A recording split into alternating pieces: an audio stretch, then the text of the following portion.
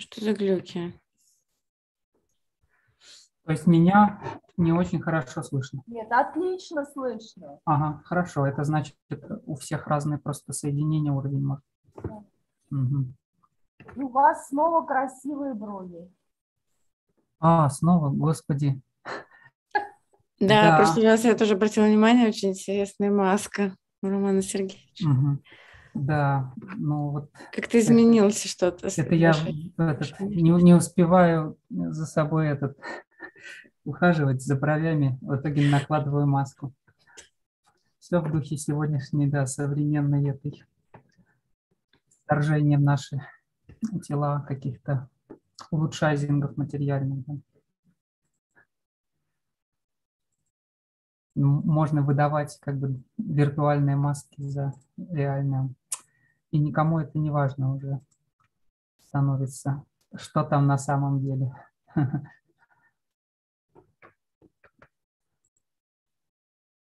Так, ну ладно, тогда вот.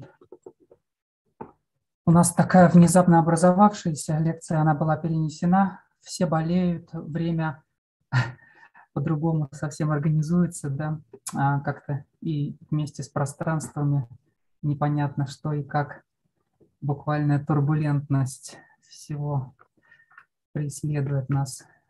Вполне в духе современности нашей такой вот, да, множественных темпоральностей пресловутых, которые для современного искусства как раз и являются главным, можно сказать,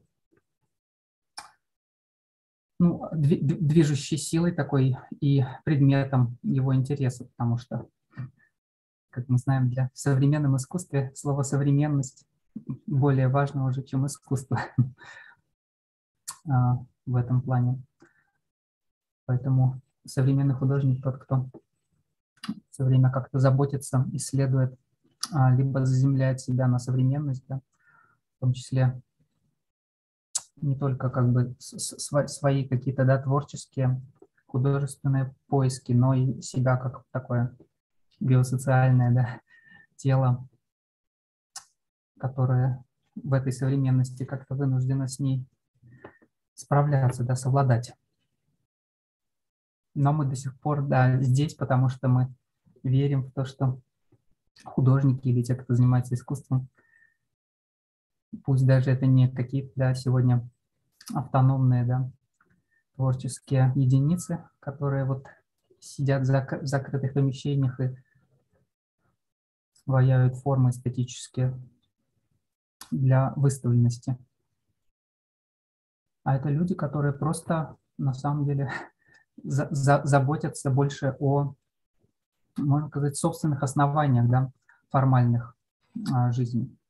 И в этом плане, ну, вот на примере проникновения всех перформативных наших практик да, в искусство, ну, мы с вами говорили на предыдущих двух занятиях о самодеятельности и самоорганизации, а тогда не задумывались, конечно, о перформативности и прочих а, компонентах, но на самом деле в современном искусстве, если эту линию брать там, то перформативностью проникнуты а, все даже законченные, замкнутые на себя объекты, да, А, в этом плане просто с какой методологией к ним подходить, да, кому как нравится. Ну, то, что вот книжка Клэр Бишоп полностью перепрошила там историю искусства с точки зрения э, партиципаторности, да, это, в принципе, а, такой а, другой взгляд, сдвиг, да, с а, живописной, да, fine arts медиумов на в том числе вот какие-то движущиеся вещи, да, ну, прежде всего театр, ну, скорее это синтетические искусства, да, как мы знаем, там в классическом искусствоведении, да, есть временные, да, искусства, типа музыки или поэзии, ну, в таком традиционном виде. Пространственные, да, типа живописи или скульптуры, да. И синтетические, когда кино и театр, например, да, которые занимают и какое-то пространство, и время одновременно.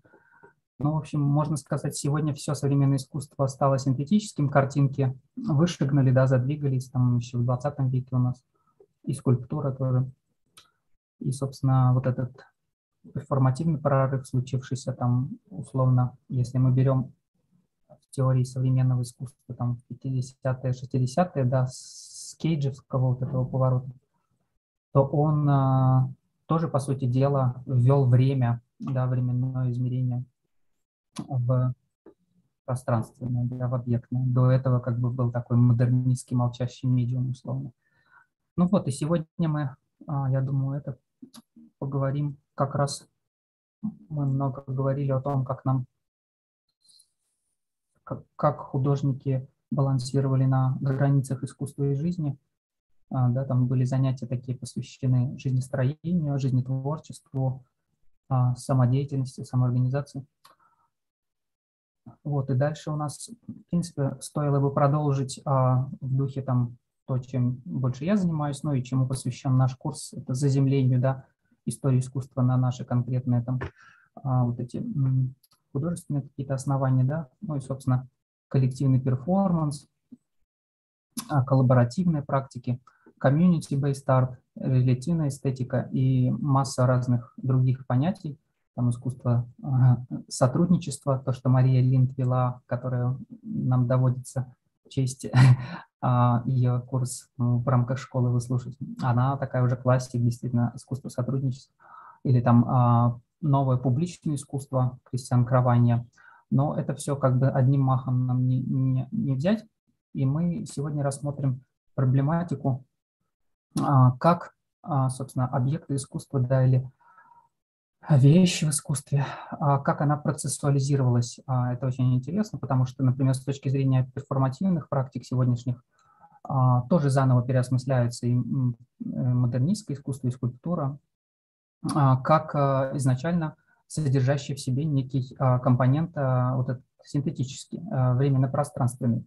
Или мы можем сказать мультимедийный, а, или сегодня есть такие понятия, как а, постконцептуальное искусство. Да, у Петра Осберна там пару его статей переведены, а есть книжка Anywhere Not at All, да, либо везде, либо никак. Там это очень подробно изложено, но мы к этому, да, придем. Но вот, вот это вот все время дихотомия, бинарность, которая присуща э, э, современному искусству, или даже ну, с, с модерн арта, да, а мы с вами начинали там с модерн арта, она как бы всегда преследовалась. Сегодня она, можно сказать, снята практически, но мы видим вот, а, объектно-ориентированный этот поворот философии уже там больше 10 лет назад, может, случившийся, он возвращает к этому проблематике, но уже на, на новом витке. Да? Есть разные подходы. А, вот. Я надеюсь, это будет как-то всех, всех затрагивать, потому что мы так или иначе работаем и одновременно и с объектами, и с процессами. Э, но тут еще встает другая бинарная пара. Это материя и дискурс, или материя и текст. Они тоже всегда в модернистском искусстве идут, вот, э, можно сказать, бок о бок, да, и вступают в какое-то да, противодействие. А чтобы, чтобы на самом деле сегодня снова обрести вот такое вот в снятом виде уже некое взаимодействие, да? Или то, что там уже современные там физики, философы, а, такие феминистские, как Карен Барат, называют материально-дискурсивной уже э, таким способом э, или перформативностью материи, когда материя сама э, выражает себя, э, сама производит некие, да, не нуждаясь в репрезентации никакой извне, сама производит какие-то смыслы, а, то есть перформативно действует. Да? А, вот, поэтому все подтянулись, нас 10 уже, ну хорошо, утро, утро, утро бодрое мы встречаем, я надеюсь, ничего меня не прервет, а, ну, но вы можете прерывать в любой момент. Вот, мы в таком больше режиме будем сегодня блица, потому что нам, нам важны будут вот эти именно концептуальные моменты смены, смены парадигма, да, смены антологии произведения искусства. И это очень важно, когда оно, собственно, менялось. Да? А таких немного в истории, на самом деле, случаев, вернее, а таких серьезных сдвигов. Знаете, у Розалинды Краус есть такая статья «Переизобретение медиумов». Ну, вот там, то есть таких настоящих революций э, в, медиумах э, происходит немного. Ну, как бы они постоянно меняются, так или иначе. Ну, формы наши развиваются, да. А, но наша как бы вот э, именно радикальный слом вообще в понимании, что такое искусство, ну, то, что вчера еще не было искусством, становится вдруг осознается как искусство, таких, конечно же, всего там, можно сказать, несколько в истории случалось вещей. Ну, и мы их разбирали там на примере рансьеровских сменов режимов, да. А здесь, если медиум говорить, как мы понимаем, там снова ренессансной, вернее, с ренессансной, вот это и возникновение нового а, медиума живописи как такового, да, тоже довольно-таки недетерминированное возникновение там, когда а, отделилась скульптура, превратилась во фреску, да, а фреска в, в раме уже стала а, картиной выделенной, да, и потом вообще стала живописью, и потом она ушла вообще со стен храмов там, с фронтонов э, внутрь, да, внутрь домов, и стала окном в мир, да. А потом случилась революция, когда вот это романтическое окно в мир а, само осознало свою плоскостность. Да. И, собственно говоря, вот это все, все, все, все, все, все, все практически смены. А, последняя революция такого рода это была Дюшановская, ну мы с нее и начнем, да, когда, собственно говоря, мы с вами говорили, был радикальный отказ уже от э, зрения, от глаза, да, ну и от э, ручного мастерства, да, делания художником, понимания художника как некого ремесленника, который именно пишет картину, живопись, да, пенетрирует холст, тоже есть такой тут квир-компонент у Дюшана. И вот, ну, эти революции медиумов, например, по-другому можно рассматривать там в более э, общей там политэкономической истории. У, есть здесь хорошая статья э, Андрея Шенталя, нашего российского молодого философа искусства. Он вел долго на винзаводе, там, да, философский клуб по искусству. Ну, в общем, она доступна. Она называется «Панцирь черепахи» или «К предметной теории искусства», как-то так. А, но я могу, да, потом ссылку прислать. Там он приводит, э, например, э, других, там не, не, несколько уже марксистского типа политэкономов, которые сравнивают такую смену медиума радикальную с, со сменой, например, а, хождения денежных, денежных эквивалентов, да, или, попросту говоря, денег, как таких, знаете, да, по Марксу это конкретная абстракция, то есть э, они сами по себе да, ничего не, не представляют как вещи, да, но при этом обладают какой-то ценностью да, кон конкрет, кон конкретной. А, в этом смысле, например, если мы берем деньги в эпоху до, до нового времени, там, до 17 века, то это был золотой, там, серебряный эквивалент. То есть деньги именно стоили ровно столько, сколько весит, да, сколько стоит их материал.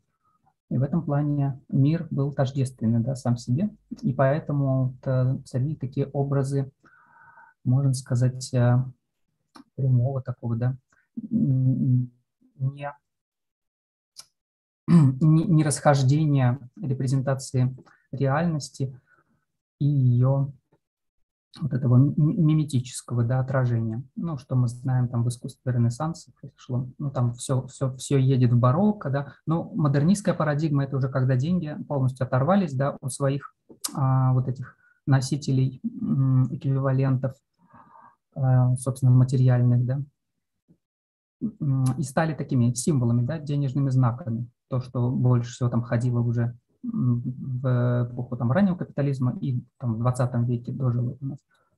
Это уже соответствует такой модернистской парадигме, когда реальность не репрезентирует саму себя, а является ее такой символом, да, расходится с ней, разотождествляется. Но это еще связано тоже с колониализмом во многом. Это уже Джейминсовская, мы с вами разбирали его а, культурная логика позднего капитализма, да. а, про постмодернизм как культурная логика постного капитализма. Эта книжка переведена на русский. Он там три таких переводит тоже исторические эпохи. Ну вот модерн – это уже разотождествление, да, репрезентация реальности и ее как бы, ну, несоответствие.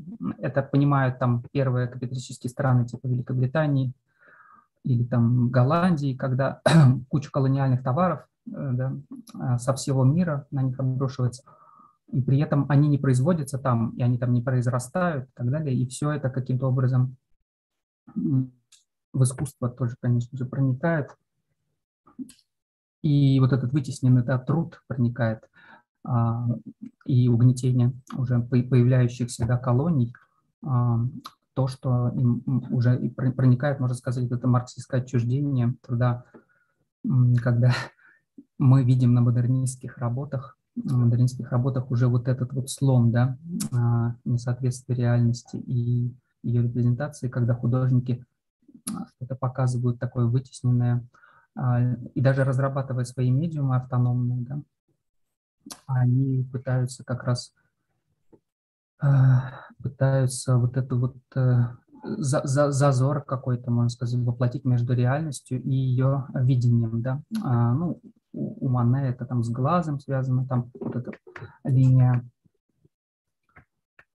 э, линия, грубо говоря,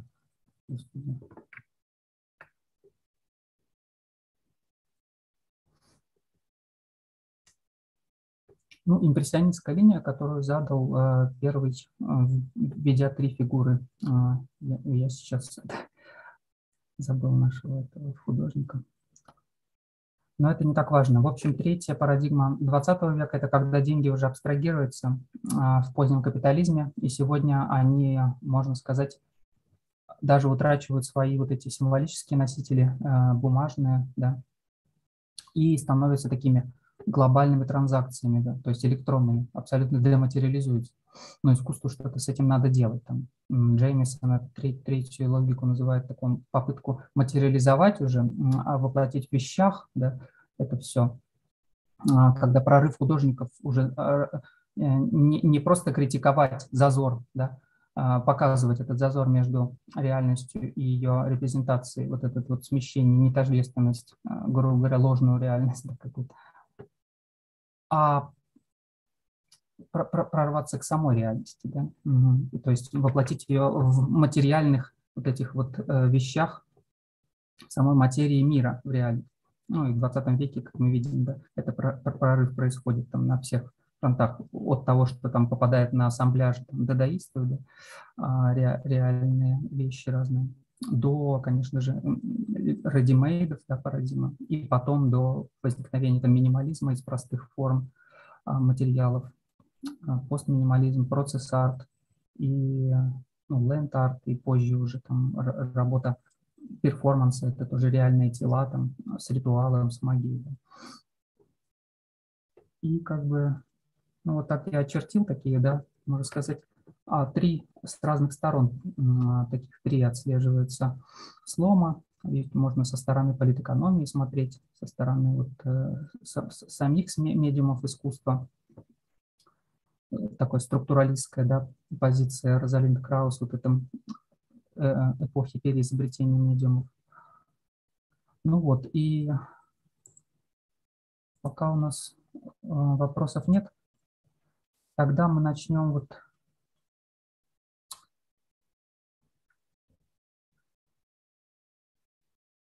начнем тогда вот действительно там смотреть, как у нас произведение обретала некую такую да, процессуальность и перформативность, что мне интересно. Да, даже молчащий модернистский объект, казалось бы.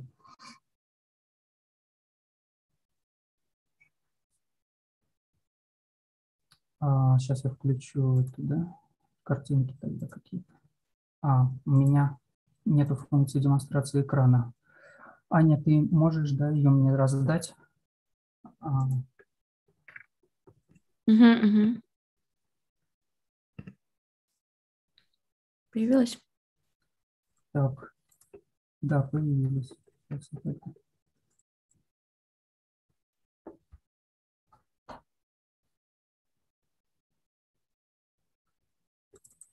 Так, видно, да? М-м. Ничего не видно. Тебя видно только. Странно. А вот сейчас что-то происходит. Мгм. Видно, да? А, видно очень концептуальную серую картинку. Странно. Ну, фотографию видно, а, Марсель Дюшан сидящий? Нет, нет, какая-то серая такая. А сейчас? М-м. Там, может быть, надо выбрать экран какой-то, который ты хочешь показать. Так, хорошо. Сейчас видно м, папку общую с фотографиями. М, Ты открыл, да, теперь нужно конкретно по фотографии выбирать, потому что Я понял, да. Так.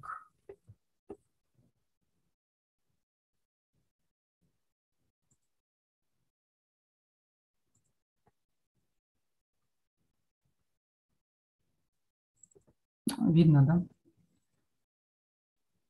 да, сейчас видно.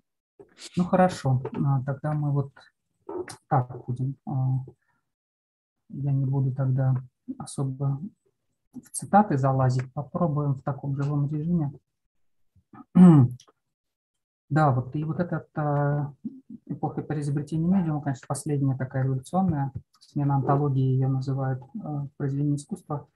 А, Сравнивают, да, с, Дюша- с Дюшаном, конечно же, отсылают многие а, и разные теоретики. Но я, например, отталкивался, когда рассматривал писсуар Дюшана и вообще Ready-Made как перформативный акт высказывания, я отталкивался от работы, а, знаете, такой французский искусствовед, очень хороший, есть переводы его, Тири Дедюф. Вот. У него есть про Дюшана отдельные работы, и есть вот а, про художественный номинализм, он это называет художественным номинализмом, А когда там, исследуя вообще разные да, высказывания Дюшана, его практику последовательно, он как бы отделяет а, вот этот вот объект как э, сделанное да, произведение, органическое произведение искусства, которое было, можно сказать, до Дюшана. Ну и даже после, конечно же, тоже.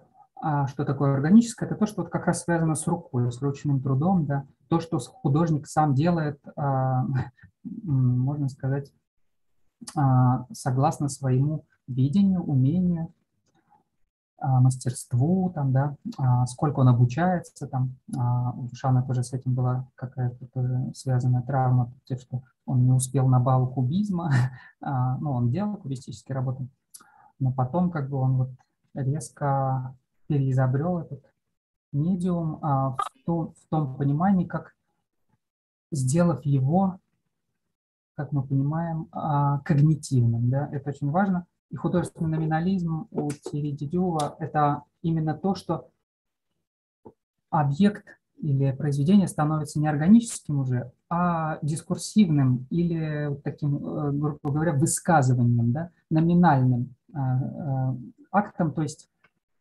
а, он там так и говорит, Дюшан совершает некий выбор, да, вы просто указываете на любой какой-то предмет, хотя Дюшан там выбирал долго, у него разные эти. И, как мы понимаем, это сыграло роль, потому что предметность неустранима, и она тоже важна.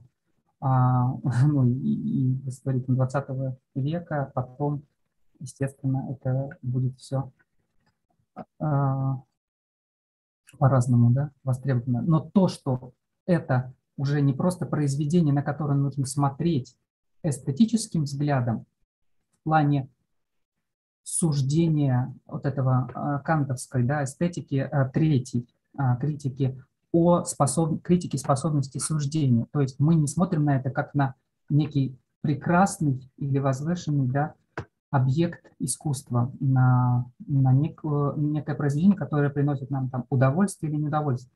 То есть здесь разрыв с глазом как зрителя происходит, так и художника, ну, и с рукой, и с глазом.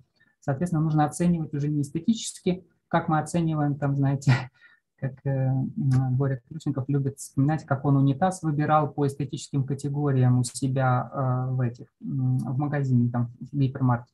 Но мы, в принципе, любой товар оцениваем по его все-таки эстетическим качествам, вот, да, как он нам нравится, подходит ли, радует ли взгляд, его форма, цвет, там, качество. Ну вот, и ну, радикально вот с точки зрения телевидения был отказ от, э, как раз Дюшана от того, чтобы мы воспринимали произведение искусства как э, приносящее или приносящее нам удовольствие, как вот зрителям, а, обладающим неким вкусом. Ну, у Канта вообще вкусы вне историчны, то есть произведения искусства меняются, да, а, с историей, там, ну, понятно, в Ренессансе одни, в барокко, там, в классицизме другие, но вкусы как будто у него как бы не, не историчны, потому что есть некую такой сенсус коммунис, да, общая чувственность какая-то, и вот возникновение человека вкуса, соответственно, способного судить незаинтересованно, глядя на произведение искусства, да. Это очень важно, кантовское высвобождение да, эстетики от заинтересованности, если до этого там, да, а, произведение искусства там, до французской революции было помещено в музе... не в музее, а во дворцы, либо в дома, а, либо в храмы, да, то возникновение музея в XIX веке а, изымает вот этот объект, но оно же его и деэстеризирует. Оно как бы, да, здесь, э, ну, если вы не читали, там у Гройса это хорошо описано в работе, там, по-моему, политика инсталляции, это часть часть его э, статья, по-моему, из книги «Сборник в потоке» или, может быть, «Политика поэтики», я не помню, из какого сборника. В общем, там Гройс про возникновение инсталляции пишет, но, естественно, все это началось вот э, с появлением первых музеев, которые перемешали все произведения разных эпох, да, превратив их э, из, из вот исторической среды а, да, или контекста социального да, жизни своих владельцев, они их, по сути дела, превратили в такие вот выставленные а, объекты а, для сугубо эстетического созерцания, для вот этого вот нашего вкусового да, восприятия. Мы проходим там по галереям каких-нибудь музеев больших европейских и смотрим вот а, как наделенные некой трансцендентальной такой вот а, своими способностью да, судить. Но при этом как бы если мы придем в модернистский музей, и тем более там в музей э, постмодернистский, я не знаю, ну, вернее, в раздел, да, уже входим, то случается, мы видим вот это вот э, сдвиг, вот этот революционный, да, потому что даже работы импрессионистов нам многие критики там потом сравнивая с абстракционизмом называли чуть ли не а, верхом, да, верхом мастерства художника, а, то как бы сложно назвать готовые промышленные объекты, а, выбранные вот так номинально, да, указом художника, а, грубо говоря, перформативным жестом, да, сложно их воспринимать уже с точки зрения суждения вкуса. Сложно, но можно. То, что потом сделали неодадаисты, а, о чем очень сам сокрушался Дадишан, там уже старый, он писал, что он швырнул да, писсуар в лицо, чтобы прекратить этот спектакль эстетизма, да, а, прервать его, вот это вот, э, прохаживающихся да, зрителей, которые разглядывают полотна, вот эту буржуазную публику, а, либо художников, мнящих себя какими-то, да, прозревателями, такими медиумами. Но неодадаисты, как он пишет, обратили внимание на сам объект, да, э, э, начали любоваться его формой, его э, как бы красотой или там отвратительностью. Это не суть важно, но, грубо говоря, не обратили внимание ни на сам жест, ни на сам указательный палец, да, вот этот вот, а на, снова на объект, на произведение. То есть оно восстановило себя в правах. Ну и понятно, что это связано со многими вещами, в том числе потому, что и авангард исторический, а, можно сказать, потерпел свое поражение вот на вот этом главном своем фронте интенции, которую мы разбирали с вами, а именно на интенции именно э, снятия автономного института искусства да, и выхода в жизнь напрямую, то есть воздействия, взаимодействия с жизнью и оказание влияния на ее, в том числе, производственные силы, да, если мы берем там советский конструктивистский производственнический проект. Ну и вот, и этот перформативный джаз Дюшана был пойман, можно сказать, на излете, да.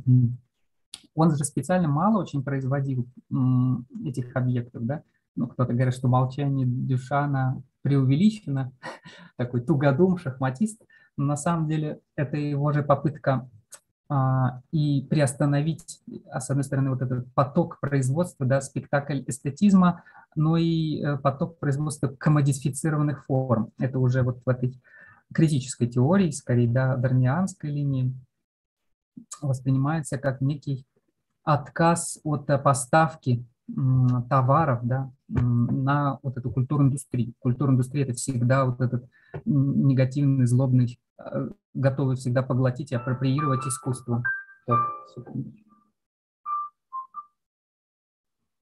а, апроприировать искусство, и от него всегда нужно его вот, э, предохранять, сохранять негативную эстетику, да, это адернианское понятие, либо критический зазор, а, никогда не давать искусству, а, ну, Адорно был таким мрачным критиком и не давать ему, а, можно сказать, развлекать тебя, просто вот забываться в иллюзии, да, это типа все культура индустрии, entertainment делает. Но понятно, что вот это тоже модернистская, еще одна бинарная пара, да, а, искусство критическое и культурная индустрия.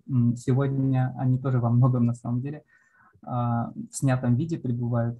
Художники, с одной стороны, не хотят, да, развлекать и быть критическими, но с другой стороны музеи наполнены большими, да, там, спектакулярными инсталляциями, двигающимися, там, как-то вовлекающими, да, иммерсивными, а, такими вот очень интерактивными, но это все началось, да, не сегодня, сказать, с 60-х годов, да.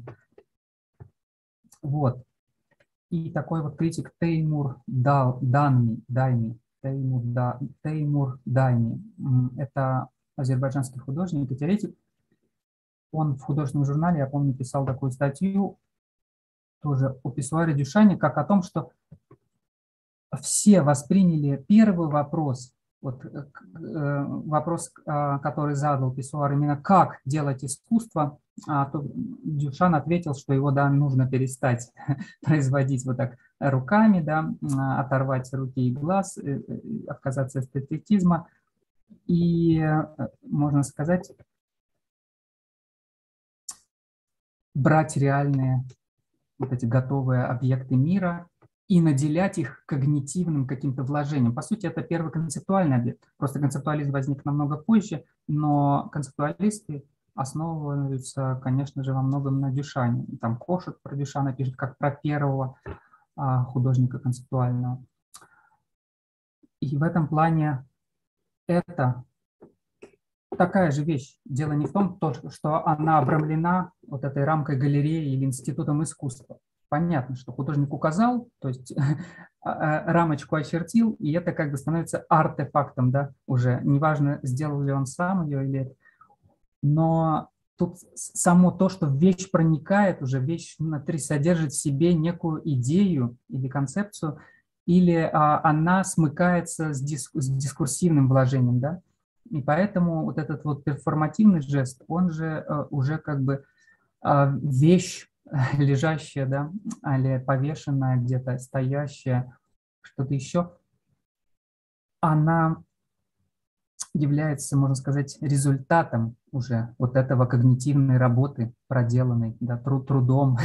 Вот сидит художник, мы видим на фотографии, курит, думает, да, а, долго думает, и потом, как итог его вот этого когнитивного труда, да, является вещь. Но должно ли, должен ли когнитивный труд всегда заканчиваться неким объектом? Или он может сам по себе да, а, быть как-то зафиксирован э, в процессе? Концептуализм пытался отвечать на эти вопросы. А, полностью от объектности уйти в итоге все равно никому не удалось, даже хардовому концептуализму там первому, да, 60-х, а групп там Art and Language, или как это, январская группа, да, с этим Солом Ньюманом, а, ой, Солом Левитом, да. В общем, а, это Дюшановская революция. И вот у Теймура Дайми там второй вопрос, на который как бы не, не был дан ответ, очень важный, который был пропущен. Зачем есть искусство? То есть э, вот этот, что есть искусство, как бы все стали отвечать, собственно, ну, это наш любимый вопрос. Искусство это или это не искусство, да? Мы э, до сих пор, даже не будучи там какими-то профанными обивателями, даже художниками, есть там даже паблики такие большие, многотысячные ВКонтакте, э, где есть вопрос, это искусство, и там э, всякие работы представлены, и голосовалка идет, или комментарий. В общем, это самое интересное. Э, хотя вроде зрители приходят в музей, и как Дюшан пишет, а через вот этого Тири Дедюва, зритель всегда запаздывает. То есть выбор уже совершен художником. Вот этот указательный жест а, перформативно произведен. И если зритель идет в музей, э, на выставку, в галерею, он уже как бы, даже если там выскажет свое фи, там не признает это за искусство, или там как раньше более жестко там было, да, там что-нибудь еще там нарушит, э, э, работу как-то деконструирует, он уже вот э, пойман, он уже пойман, а, он уже опоздал, он уже как бы стоит перед искусством и судит о нем. Вот это вот, что есть искусство, не искусство. По сути дела, с Дюшана начинается это э, постоянное перезадавание этого вопроса. А вот это искусство, а это нет. И такая экстериоризация территории да, искусства приводит к тому, что в современном искусстве уже, э, ну, когда это там, во флаксус, во флюксусе и в в хэппинингах там или прочих, уже границы между искусством и жизнью, как бы вбирайте в себя всю реальность, там, да, все есть искусство, но при этом они не отказывались от э, институции искусства, да, как бы действовали со стороны искусства, но при этом как бы говорили, что все есть искусство, да, или каждый художник э, вот этого бойсовская максимума, да. А, это было возможно только потому, что как бы уже сам институт искусства сформирован, и, и как бы незыблемая вот эта вот территория современного искусства, с которой можно и дальше а, постоянно как бы трансцендировать границы вот эти вот искусства. А, и вот этот импульс, конечно, был задан вот этим вот Лишановской революцией. И еще одна пара, конечно же, ну, мы не будем про нее подробно, но она соотносится вот этим, что есть искусство, это новое, как мы знаем, модерн озабочен новым, постоянно делание нового, и у Адорна про новое. То есть нельзя делать не просто там то же самое повторять, не страшно, но новое в том плане то, что еще, э, во-первых, зритель э, не сформирован для чего. То есть он его не сможет просто употребить а потребление – это главный грех да, вот этой вот консюмеристской, буржуазной, капиталистической цивилизации. А, и надо сделать так, чтобы зритель не смог это потребить. Поэтому надо новое, то есть оно должно быть так парадигмально новое. То есть художник не просто а, новую, новый, новый писсуар а, предлагает, или еще одну картину, или еще, еще одну скульптуру, да, а он все время новую идею, какую-то вещи, объекты, да, а не просто там перформансы производит каждый день там какие-то новые. Нет, новое это вот в плане инновацию или то, что в промышленности называется, да, а, такой вот, а, то, за что на доску почета вешали, знаете, а, как оно там называлось, а, предложение, э, да, инженерное предложение какое-то новое в общем, что-то изобретает художник. И вот это вот понятие да, художника современного, как предлагающего что-то новое, к чему еще не готовы все и чего еще нету,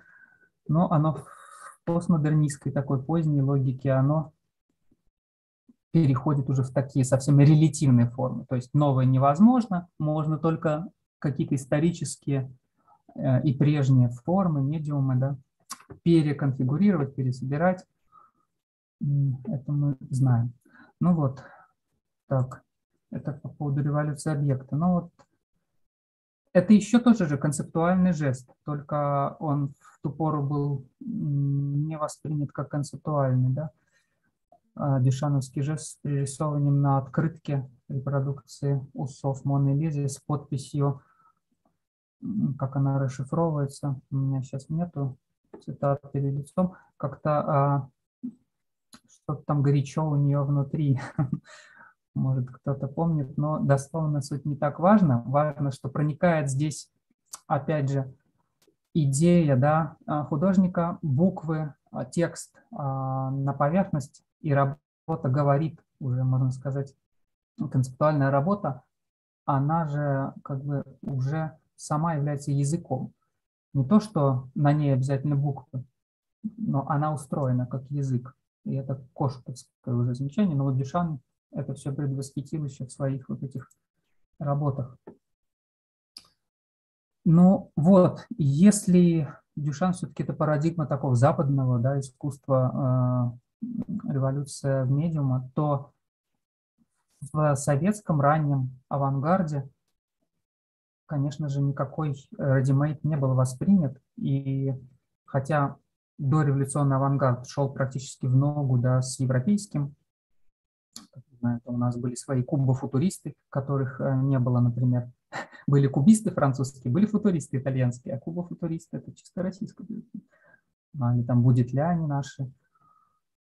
Э, это все как бы в России конечно же, бурлила и развивалась. И импрессионизм также был воспринят, и абстракция, можно сказать, Кандинский, э, ее родоначальник, то есть впереди. То после революции, когда отменяется сам буржуазный институт искусства, и об этом да, многие пишут и говорят, и все думают, что делать, как, как переизобретать, получается вот этот исчезает сам вот этот индивидуальный зритель, который осуществляет эту критику, да, а, эстетическую критику вот этого суждения. А, Нет вот этих больше а, буржуа блуждающих или там мещан, которые, которым нужно, во-первых, плевать в лицо, там, да, вот этот пощечины делать общественному вкусу, которых нужно провоцировать, которых можно так анархически подстегивать каким-то да, движением, то, что любили делать э, наши да, футуристы с вы, со своими выходками. Мы это, наверное, тоже смотрели. А появляется коллективный некий, да, условно в идеале пролетарский, да, и даже не просто зритель, который приходит созерцать работу согласно ее эстетическим, соответственно, а, вот этим вот а, прекрасным либо возвышенным качеством, а он, а, можно сказать, э, советский авангард снимает проблему вот этого индивидуального зрителя. Ну, сначала должен был ее снять, потом, конечно же, 30-е, можно сказать, такой зритель возвращается, и музеи традиционные никуда не исчезают. Но ключевое то, что этот зритель становится, обретает некую коллективную чувственность об этом книжка у Игоря Чубарова хорошо написана «Коллективная чувственность авангарда». То, что вы уже не просто да, приходите, чтобы э, ва, ва, ва, ваше чувство вкуса каким-то образом удовлетворили, либо нет, а смотреть на эстетическое качество работы, а вы некий коллектив, трудящийся, либо там э, женский коллектив э, отдельный тоже, либо какой-то коллектив даже детский, или там детские театры создавались. Вы как бы вместе а, уже, можно сказать, вырабатываете некую общую да, чувственность, такую вот, которая вас побуждает к, де, к, де, к деланию чего-то, к действию. То есть это э, тоже эстетика, она неустранима, но эта эстетика уже такая действенная, то, за что там производственники больше всего ратовали, там Арватов, самая такая, одна из горячих голов, да, как мы знаем, Борис Арватов, искусство производства. Или, вот, наверное, вы разбирали работу Тарабукина Николая «От мольберта к машине». Это тоже же факт. За мольбертом стоит художник-одиночка, да, а, ваяющий на холсте какие-то куски мира изображающие, да, выхватывающие. А машина – это уже массовое, это коллективное производство. Да? И, грубо говоря, художник, уходящий в производство, он создавал массовые вещи, эталоны, да, а, производственные какие-то промышленные эталоны. Грубо говоря, создавал те же писсуары, только уже там не удовлетворение нужд, а хорошие, да, качественные там унитазы, а, которые должны были служить одновременно и своей функцией, да, быть э, хорошо выполнять свою функцию. И э, так как они хорошо выполняют функцию, также, соответственно, и форма их, и их э, эстетика вот это вот э, становилась, э, грубо говоря, ну, полезной, да, нужной. Тут уже совсем, видите, обратный ход. Вы не рассматриваете поверхности вещей, да, не эстетически судите, а идете от функции вещи. И это вот советская революция медиума, которая потом воплотилась больше как раз в Европе и в Америке в дизайне, да, а у нас она была, по сути, придумана, ну, совместно, конечно, там с другими движениями европейскими, там, Дестиль, там, голландским или Баухаусом, там, немецким. Но так как в СССР не хватало всегда материалов, там, ни железа, ни дерева, ни металлов, даже там обучаясь на Вхутемасе, там где-то вынуждены были там будущие художники да, больше делать из каких-то непрочных, там, дешевых материалов, там, из бумаги. Или там фарфор, вот э, почему, ну, только вот фарфор был, посуда там какая-то, либо рисовать, знаете, суперграфику на поездах, трамваях, либо оформлять, вот то, что я показывал, там, из арам, да, оформлять митинги из каких-то там деревянных конструкций, первые инсталляции создавать.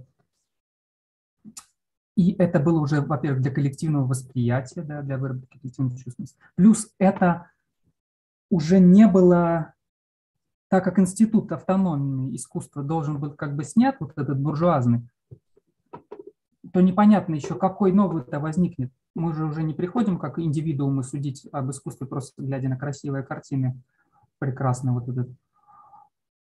И искусство как бы, с одной стороны, музей, должен трансформироваться. И возникает вот это, знаете, а, музей художественной культуры первый, там вот его Федоров Давыдов, там куратор выступал. И с одной стороны, искусство вышагивает, естественно, больше в паблик-арт, вот в эти вот митинговые разные инсталляции.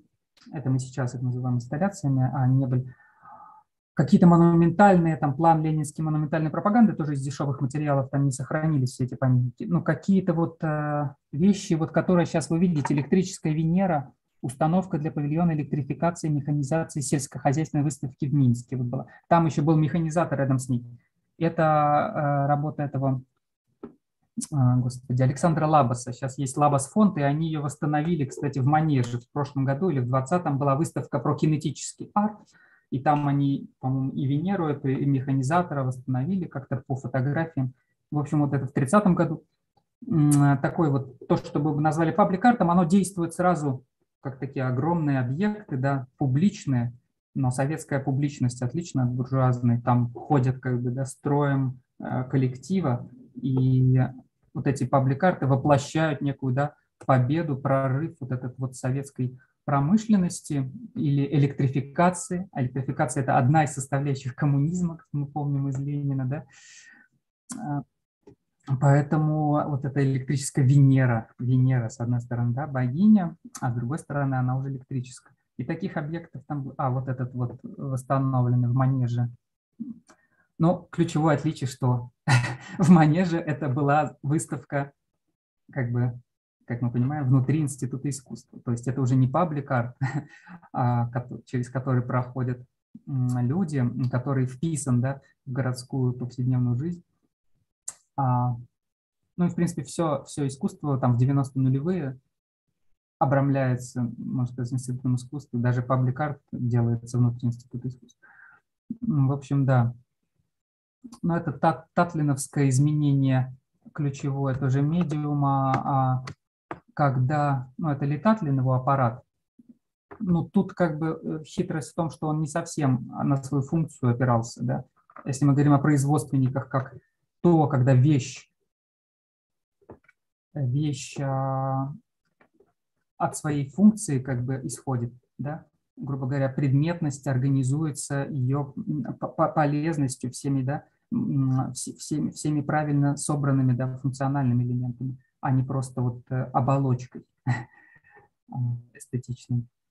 Почему советские вещи такие грубые и неказистые с виду казались? Это у Екатерины Деготь хорошо. В статье написано «К нерыночной эстетике предмета а, товара к товарищу». Такой вот термин, знаете, вместо товара должны быть вещи-товарищи. Это, э, это родченковское такое выражение «вещь-товарищ». Ну, в общем, Деготь это разбирает. Но вот у Татлина вот эта вещь описана, да, как такой малевическая, она идет в паре всегда с малевическим черным квадратом. Если тот, как бы, это действительно создание некого такого а, нуль формы абстрактного эталона, потом весь мир был из черных квадратов промышленный начал состоять, да, по сути, квадратур, модернистский мир, да, э, то Татлин первый, кто а, вышагнул в трехмерное пространство, да, были еще, ну вот контррельефы еще до революции 15 году, потом вот этот летательный аппарат, это уже конец 20-х. Ну, конечно, летать на нем было невозможно, здесь не функция.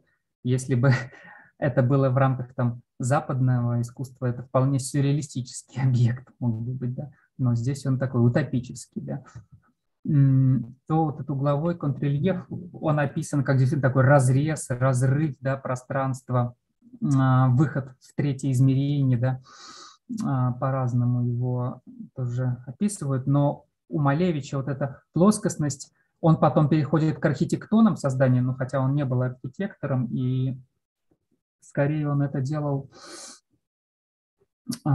тоже сначала как учебное задание в Унависе в Витебске, и там был больше, я показывал в прошлый раз, по-моему, архитектор настоящий, который архитектуру мастерскую возглавлял, этот, господи, Лазарь, как его звали?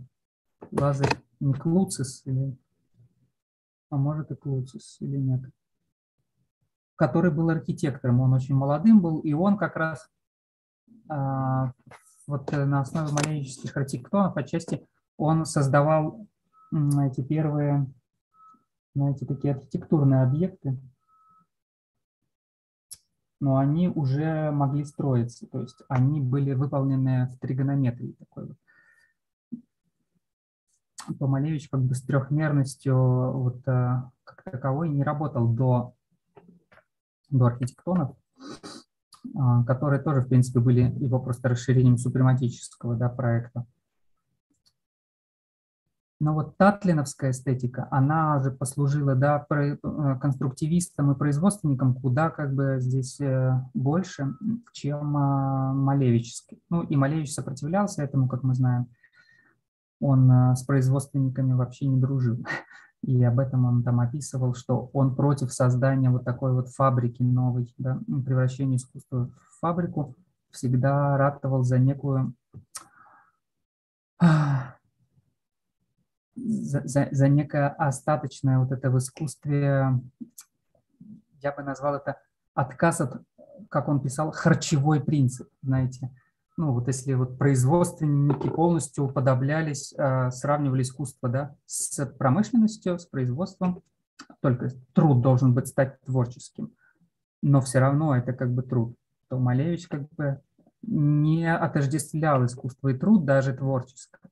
А вот это как бы харчевой принцип должен уйти, и искусство должно воплощать уже скорее посттруд или лень. Да, мы говорили о Малевиче как о теоретике лени, да, у него был трактат о лени, там, лень как действительная истина человечества, если мне не изменяет память. И там даже он Лени написал как лень, черточка, дефис, да, и ин, лень ин, такой почти дзенский какой-то, да, а, такой вот праздный Ленин, пребывающий в покое. Вот, и как бы э, в этом плане Татлин, конечно, это больше объект а, вот этот угловой контррельеф – это как протоформа такого будущих производственных объектов. Да, про прорыв реального мира я говорил. Ну, у дадаистов много разных коллажей, и у сюрреалистов они потом были. Но вот э, для примера Курта Швитерса, который потом целое огромное да, будет делать а, композиции из а, собранных вообще предметов да, окружающего мира. Эти, и создаст там потом такой собственный дизайн конструкт такой Швитерс а, машину да, целую, а, тоже почти архитектурную такую инсталляцию. Но вот э, ключевое в коллаже это вот эти приклейки, вклейки, коллер, по-французски, да, то, что когда вот э, это не ready вроде бы, это как бы э, остается рамка, да, остается как бы картина, ну, она плоская, можно сказать, да, но она уже собрана из разных слоев, из, из разных а, слоев реальности, то есть а, здесь проникает реальность. Нельзя сказать, что здесь а, преодолевается репрезентация в этом плане, хотя, ну, то есть это не реальность, не материальность а, в, в таком нерепрезентированном виде. Возможно ли она, но это мы еще обсудим, да. А, вот, и, ну, коллажи, как очень важный, э, в том числе политический а, медиум. Он, они же там у дадаистов были э, направления там Хартфельда Джона, да, который делал там антифашистские коллажи, там фотографии перемешивались, плюс текст проникает очень важно, да, с работами. А, тут как бы очень много нюансов. А в СССР был, был больше не коллаж, э, конечно же, востребован, а монтаж. Про это тоже много чего сказано но вот монтаж, он в кино как бы, но и в фотографии. Фотография становится очень важным медиумом, потому что она массовая, да, технически воспроизводимая, куда востребованнее, чем на Западе даже СССР фотографии. Ну и почему Родченко там а, такой один из самых главных художников да, у нас становится. Это еще дореволюционный даже журнал «Огонек» про футуристическую выставку. Но вот куда приходит после революции советское искусство? А, как я говорил, да, в паблик арт шагивают вот эти массовые установки, установки они так и назывались. А вот Катерина Деготь их называет протоинсталляциями, то, что потом стало инсталляциями современного искусства, в СССР было как установками такими сделано уже. Но также и музей по-другому переинтерпретировался.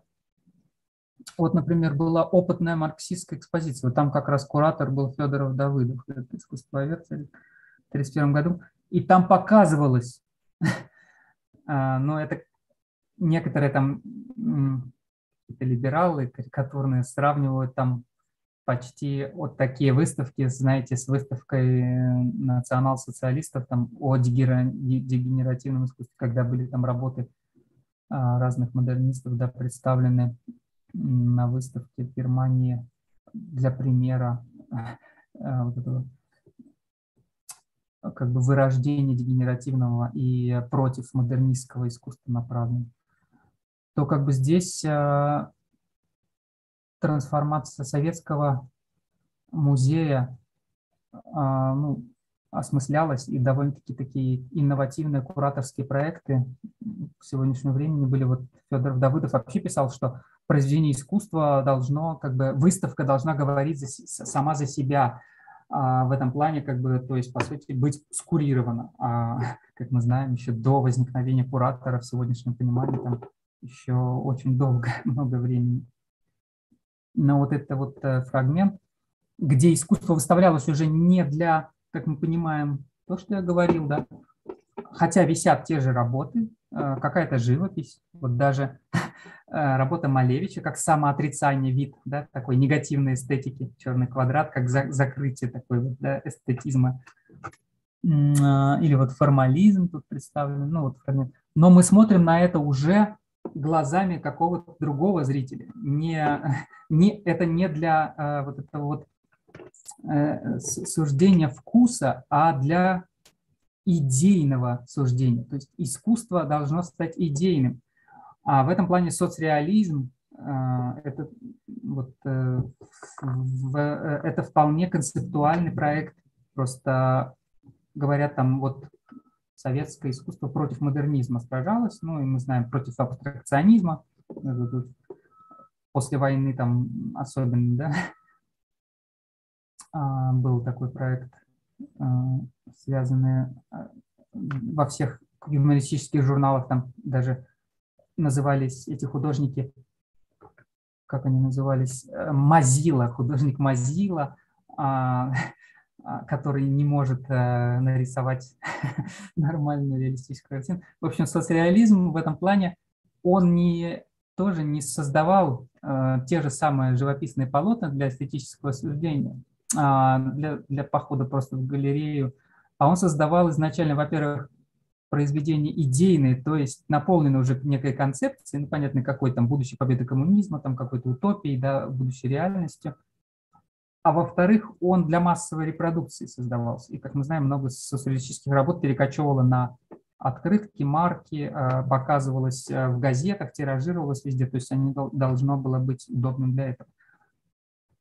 А, и то, что вот проникала вот эта идейность и дискурсивность в искусство, очень хорошо а, показано там в, тоже у Катерины Деготь, она изучает, изучала 20, 20 век в этом плане и советское искусство и позднего авангарда времен культурной революции, там, конец 20-х, начало 30-х, и соцреализма там. И, например, вот эта работа была Семеном, ой, Соломоном Никритиным, известным нашим авангардистом, который движение изобрел такое проекционистов. Если интересно, проекционный театр, там, ну вот старое и новое. И он эту работу выставил, там был жуткий скандал, он ее выставил на обсуждение. Э, то есть там была дискуссия, а, это метростроевка. Старое и новое, как бы вот Венера слева прикрывается, такая ногая, а как мы знаем, такая критика западного да, буржуазного искусства, которая до сих пор рисует обнаженных женщин с натуры, а вот такая метростроевка, но что это у нее за шар между ног? И все там по вот этим стенограммам, которые, э, по-моему, разбирала Деготь или где-то по архивным этим, многие это очень непристойным, как бы воспроизводили какое-то междуножье, все на это внимание обращали. То есть работа была создана для дискуссии а между старым и новым, но при этом изображалась вроде бы вполне таких да, реалистических, а, соцреалистических этих. И сам Никритин, по-моему, хотел создать из этой работы некий канон а, соцреалистического искусства для последующего воспроизведения. Ну вот тут какие-то, да, лебединально нагруженные а, интерпретации сегодня могли бы быть, но вот такие работы. Ну, Дайнека это уже такой он у нас соцреалист, как он есть, да, он и оформлял и метро, и разные, да, фрески, там вот эти были а, крупные, масштабные, как они, мозаики, да, а, в том числе его этим делались.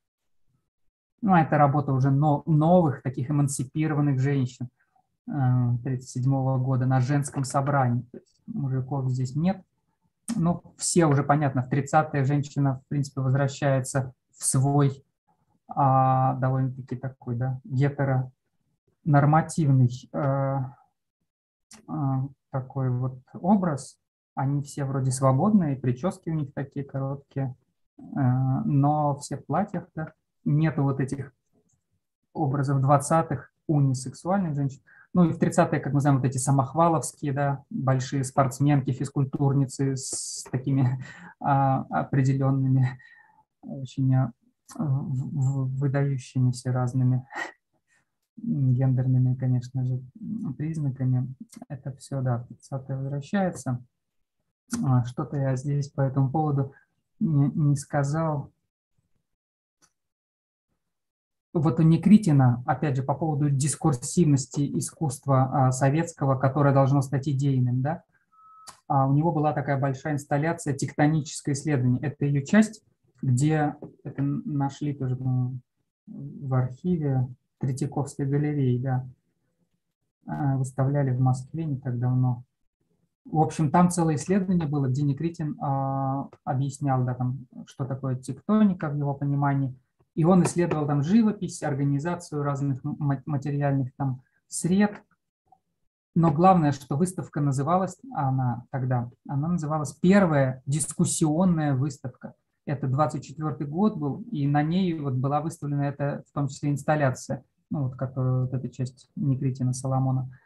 То есть выставка уже называлась дискуссионной, туда приходили обсуждать, каким должно быть искусство, что они видят. И даже, по-моему, в этой инсталляции у Никритина была включена а какая-то живописная работа обычная, которую он приводил как пример плохого упаднического там искусства, да, которое нужно осветить. То есть мы видим, что выставка уже совсем по-другому собирается, как действительно сегодняшний некий проект, да, э, и э, просто эта идейность э, того времени социальной, конечно, отличается от концепта там сегодняшнего, но то, что выставка или произведение искусства а, уже неким было нагружено, да, интеллектуально, вот, когнитивно, и даже вот эти лаборатории, я рассказывала о научной организации труда Гастева, где там разрабатывали движения рабочие, как практически танец да, трудовой.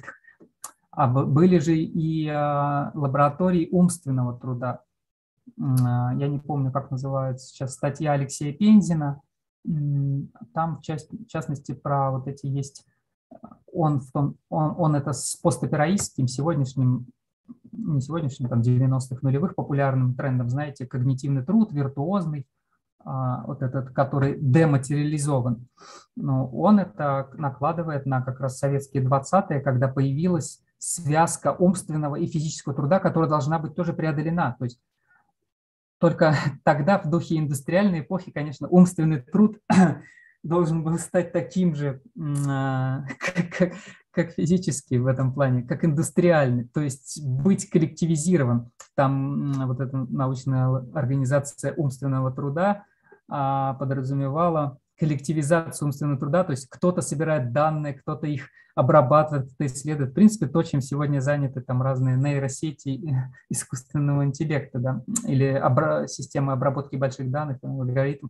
Это в 20-е обсуждалось, как коллективизировать умственный труд, потому что как бы вот вроде рабочие уже коллективизировались, крестьяне, все механизируется, индустриальное производство, а вот этот вот отделенный, вот этот мыслитель или художник, или философ, там, не знаю, критик, в общем, человек умственного труда, ну, как большинство из нас, он как бы до сих пор еще в одиночестве творит э, или пишет, да, как так, когда сама эпоха, как бы и сам, сами производственные отношения у нас призывают к такой коллективизации труда, а, превращению такого интеллектуальной а, кустарности да, в а, настоящее такое интеллектуальное производство.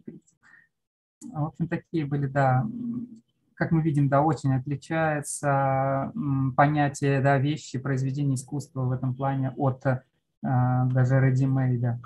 А, и вот, э, приходя к послевоенному изменению медиума, когда оно случилось, ну, можно сказать, да, радикальный слом, переход от модернизма к постмодернизму, но кто-то не любит это называть там постмодернизмом, кто-то это называет переходом от э, модернистского там, концептуальному искусству ну, к перформансу, само собой, да. Это все как бы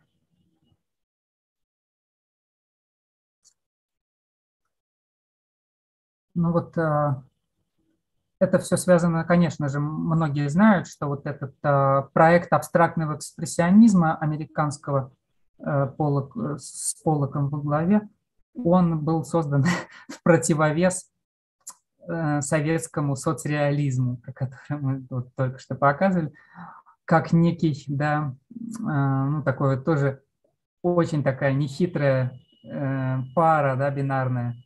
Вот у нас абстрактное, нефигуративное искусство, предельно как бы свободное, да, а, выражающее новый как бы мир, вот такой вот, ну, у Полока очень много разных здесь направлений интерпретированных – в том числе сейчас, которые мы затронем, и соцреализм, где вот, казалось бы, обращение к этому вот 19 веку, а, к реализму, да, к, к полотну а, картины назад. Но как мы вот видели на примере а, того, что Екатерина Деготь описала, что это не возврат к буржуазной картине 19 века. И эти выставки – это не лицезрение вот этих вот картин это совсем другое произведение искусства, да, которое уже обладает некой, да, носителем некой дискурсивности или идейности в этом советском плане. Почему они и против формализма так ополчились там в 30-е, да, и в том числе советские искусствоведы.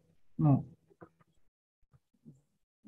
это можно, конечно, интерпретировать там вот так вот в лоб, что вот Сталин просто а, против вообще всех авангардных э, движений выступил и создал единый там этот а, союз художников и единый канон, в который всех объединили, а кто не объединялся и не отказывался, тех просто отказывались причислять художникам.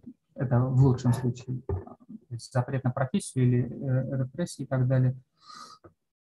Но это также было связано с тем, что на самом деле производственное искусство, а, и, ну, оно предельно формалистично, потому что из функции идет форма и больше ничего а, в этом плане. Оно перекочевало в архитектуру и в массовое же производство. Можно сказать, почему-то оно осталось в институте искусства вот, э, вот в этом э, изобразительного, но при этом советское искусство, особенно послевоенное, вернее, э, производственное, вот это формалистское искусство, или абстрактное, не фигуративное, оно очень было популярным, и, по сути дела, весь советский модернизм а, поздний, оно же было не фигуративным.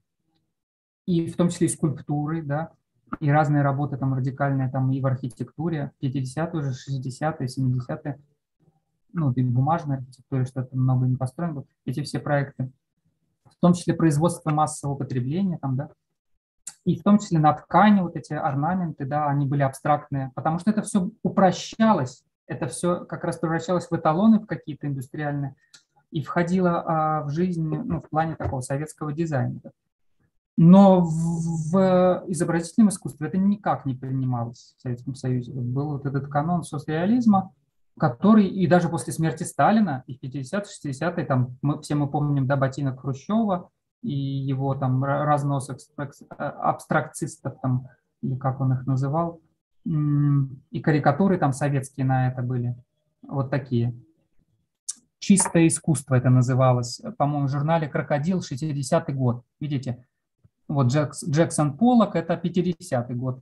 Ну вот в 60-м уже он умер, но в Советском Союзе продолжали критиковать этот понятно, абстрактный экспрессионизм, как вот этот э, американский, да, паднический тип искусства, когда художник просто не может, с одной стороны, да, тут есть какое-то расхождение, художник не может, что ли, изобразить реальность на полотне, передать, да, действительность. М, или он не хочет, это непонятно. Вот этот художник Мазила, да, пресловутый, покойный Александра Новоженовой была статья «Смех в зале».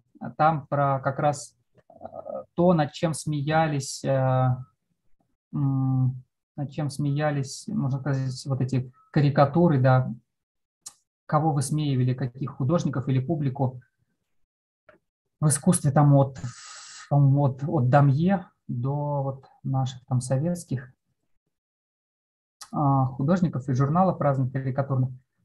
Но э, все-таки при всех различиях мы видим довольно-таки интересно, да, что со со со советская вот эта вот машина, да, культурная, вот это вот, она критиковала критиковала вот это вот абстрактное искусство как чисто, как безидейно, то есть э, как то, как раз в чем отсутствовала концепция. Ну, и нельзя сказать, что у Полока была концепция, он, да, не был концептуальным художником, но при этом очень э, важный слом случился в медиуме, как мы понимаем, как я вот вначале говорил, он процессуализируется. И э, вот этот как по-другому, дроппинг, да, нанесение кисточкой, а он же не прикасался уже, то есть это было такое разбрызгивание. Это э, называют перформансом. Ну, в принципе, это в то же время и делалось, когда Джон Кейдж там и вот эта школа знаменитая Black Mounts, э, как она называется, Black Mount School, там школа э, в Америке открывшаяся, там 40-е и 50-е достигшие своего рассвета, где в том числе и Кейдж преподавал Джон, и он там делал первые свои такие прото-перформансы, когда включал музыку да, в пространственное измерение. До этого как бы музыка обладала только временным, а он а, что такое тишина, да, осознание тишины? Это осознание пространства вокруг или зрительских каких-то звуков, или э, издаваемых предметами, да. Ну, по сути дела, перформанс – это действительно такое синтетическое искусство, где пространство и время совпадают, и главное, они никуда не отсылают, а они а, и есть действие, выражает то, что оно а, есть на данный момент, здесь и сейчас. Ну, это, по крайней мере, так появился, да, перформанс. Потом сегодня там мы, кто-то называет это мы в постперформативном уже состоянии. Перформанс значит совсем еще много разных вещей. Но вот, по крайней мере, э, в первых своих там 50-х, 60-х годах это было действительно такое вот э, ни к чему не отсылающее действие во времени и пространстве, живое, да, life art такой. И Полок с этой стороны э, Алланом Капру, который придумывает свои хэппинги, хэппининги а, тоже в конце 50-х, и первую статью пишет о Полоке как о том, кто предвестник с его стороны хэппининга. А хэппининг – это что? Случайность, случающаяся здесь и сейчас, то есть э, происходящее, настоящее как таковое. И вот а, вопреки вот этой гринберговской, да, Клемент Гринберг, а, самый такой столб модернистского искусства в плане абстракционизма, вот этого американского а, типа, вернее, абстрактного экспрессионизма, да, вот Поллоковского. Для него как бы Поллок, для Гринберга, это верх, да, высокий такой модернизм, ну или там Ротко тот же там тоже.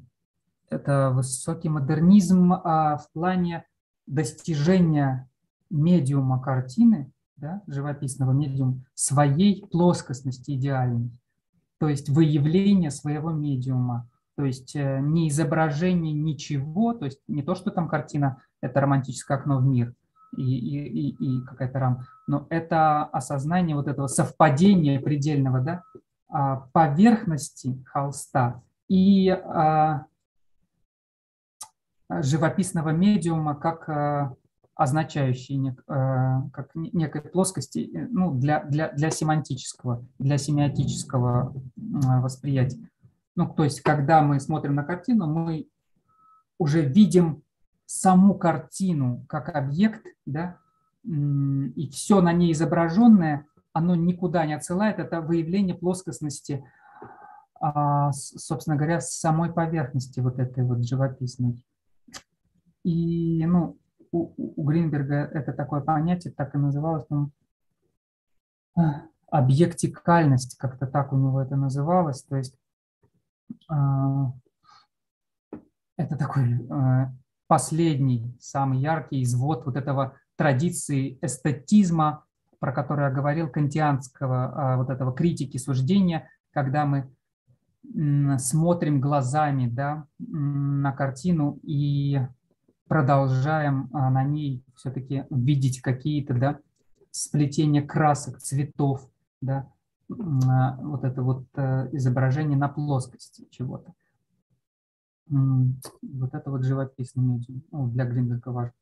То есть, а вот эта линия интерпретации Поллока как э, зачинателя хэппинингов и перформансов или action painting, да, живописи действия, это со стороны как бы живописи всегда идет вот эта трансгрессия, выход за пределы холста. И в этом плане там с точки зрения перформативной а, луча фонтана, да, фонтана с его разрывами, рассечениями холстов, это тоже выход а, да, за пределы холста, некое действие, совершаемое с холстом. И на это не надо смотреть как на вот а, раскрытие плоскостности медиума. Да? Вот. Но просто здесь понятно, разные интерпретации, и все, все могут это тянуть или в сторону объекта готового, или в сторону процесса. Потому что все-таки и после Полока, там, и после и после даже тех же антропометрий Ива Кляйна, которые уже боди-арт, да, остаются какие-то произведения да, искусства, объекты. несмотря на то, что сам процесс их производства овнешняется и становится как бы публичным, частью как бы вот этого художественного акта. А, вот. Так, 13.59. Делаем перерывчик, да, небольшой, и потом закончим, да? Ой, у меня вопросы вы какие-то, да, появляются? Ага, Black Mountain, да, спасибо. Вы пока подумайте, что, что хотите сказать, спросите, чтобы я не был таким говорящим. А может, это все всем хорошо знакомо, и вы хотели бы как-то более провокационного что-то добавить, но у нас курс по истории и искусству, поэтому мы вынуждены проговаривать какие-то вещи для себя заново. Хорошо, так, 14.00. Тогда в 14.10 возвращаемся и еще до трех там поработаем, да? Угу. Да, я за.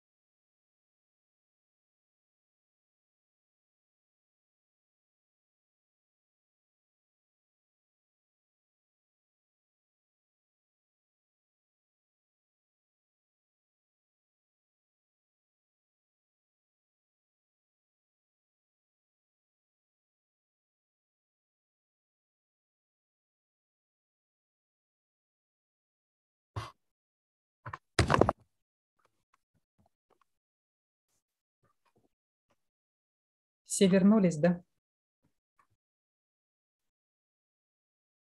Да. Ну хорошо, давайте тогда закончим, чтобы этот, успеть все. Так. Ну, все, не все. Мгм. Вот, в чате ничего пока новенького не написали. Вопросов нет. Хорошо. Да, и вот это вот парадигма или вот этого произведения искусства, смещающегося к процессу, с одной стороны, да, она тоже двоякая была.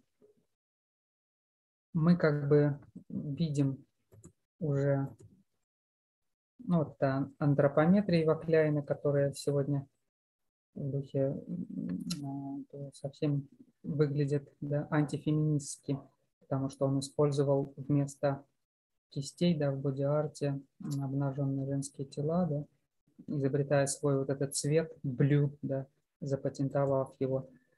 В общем, а, ключевое вот это вот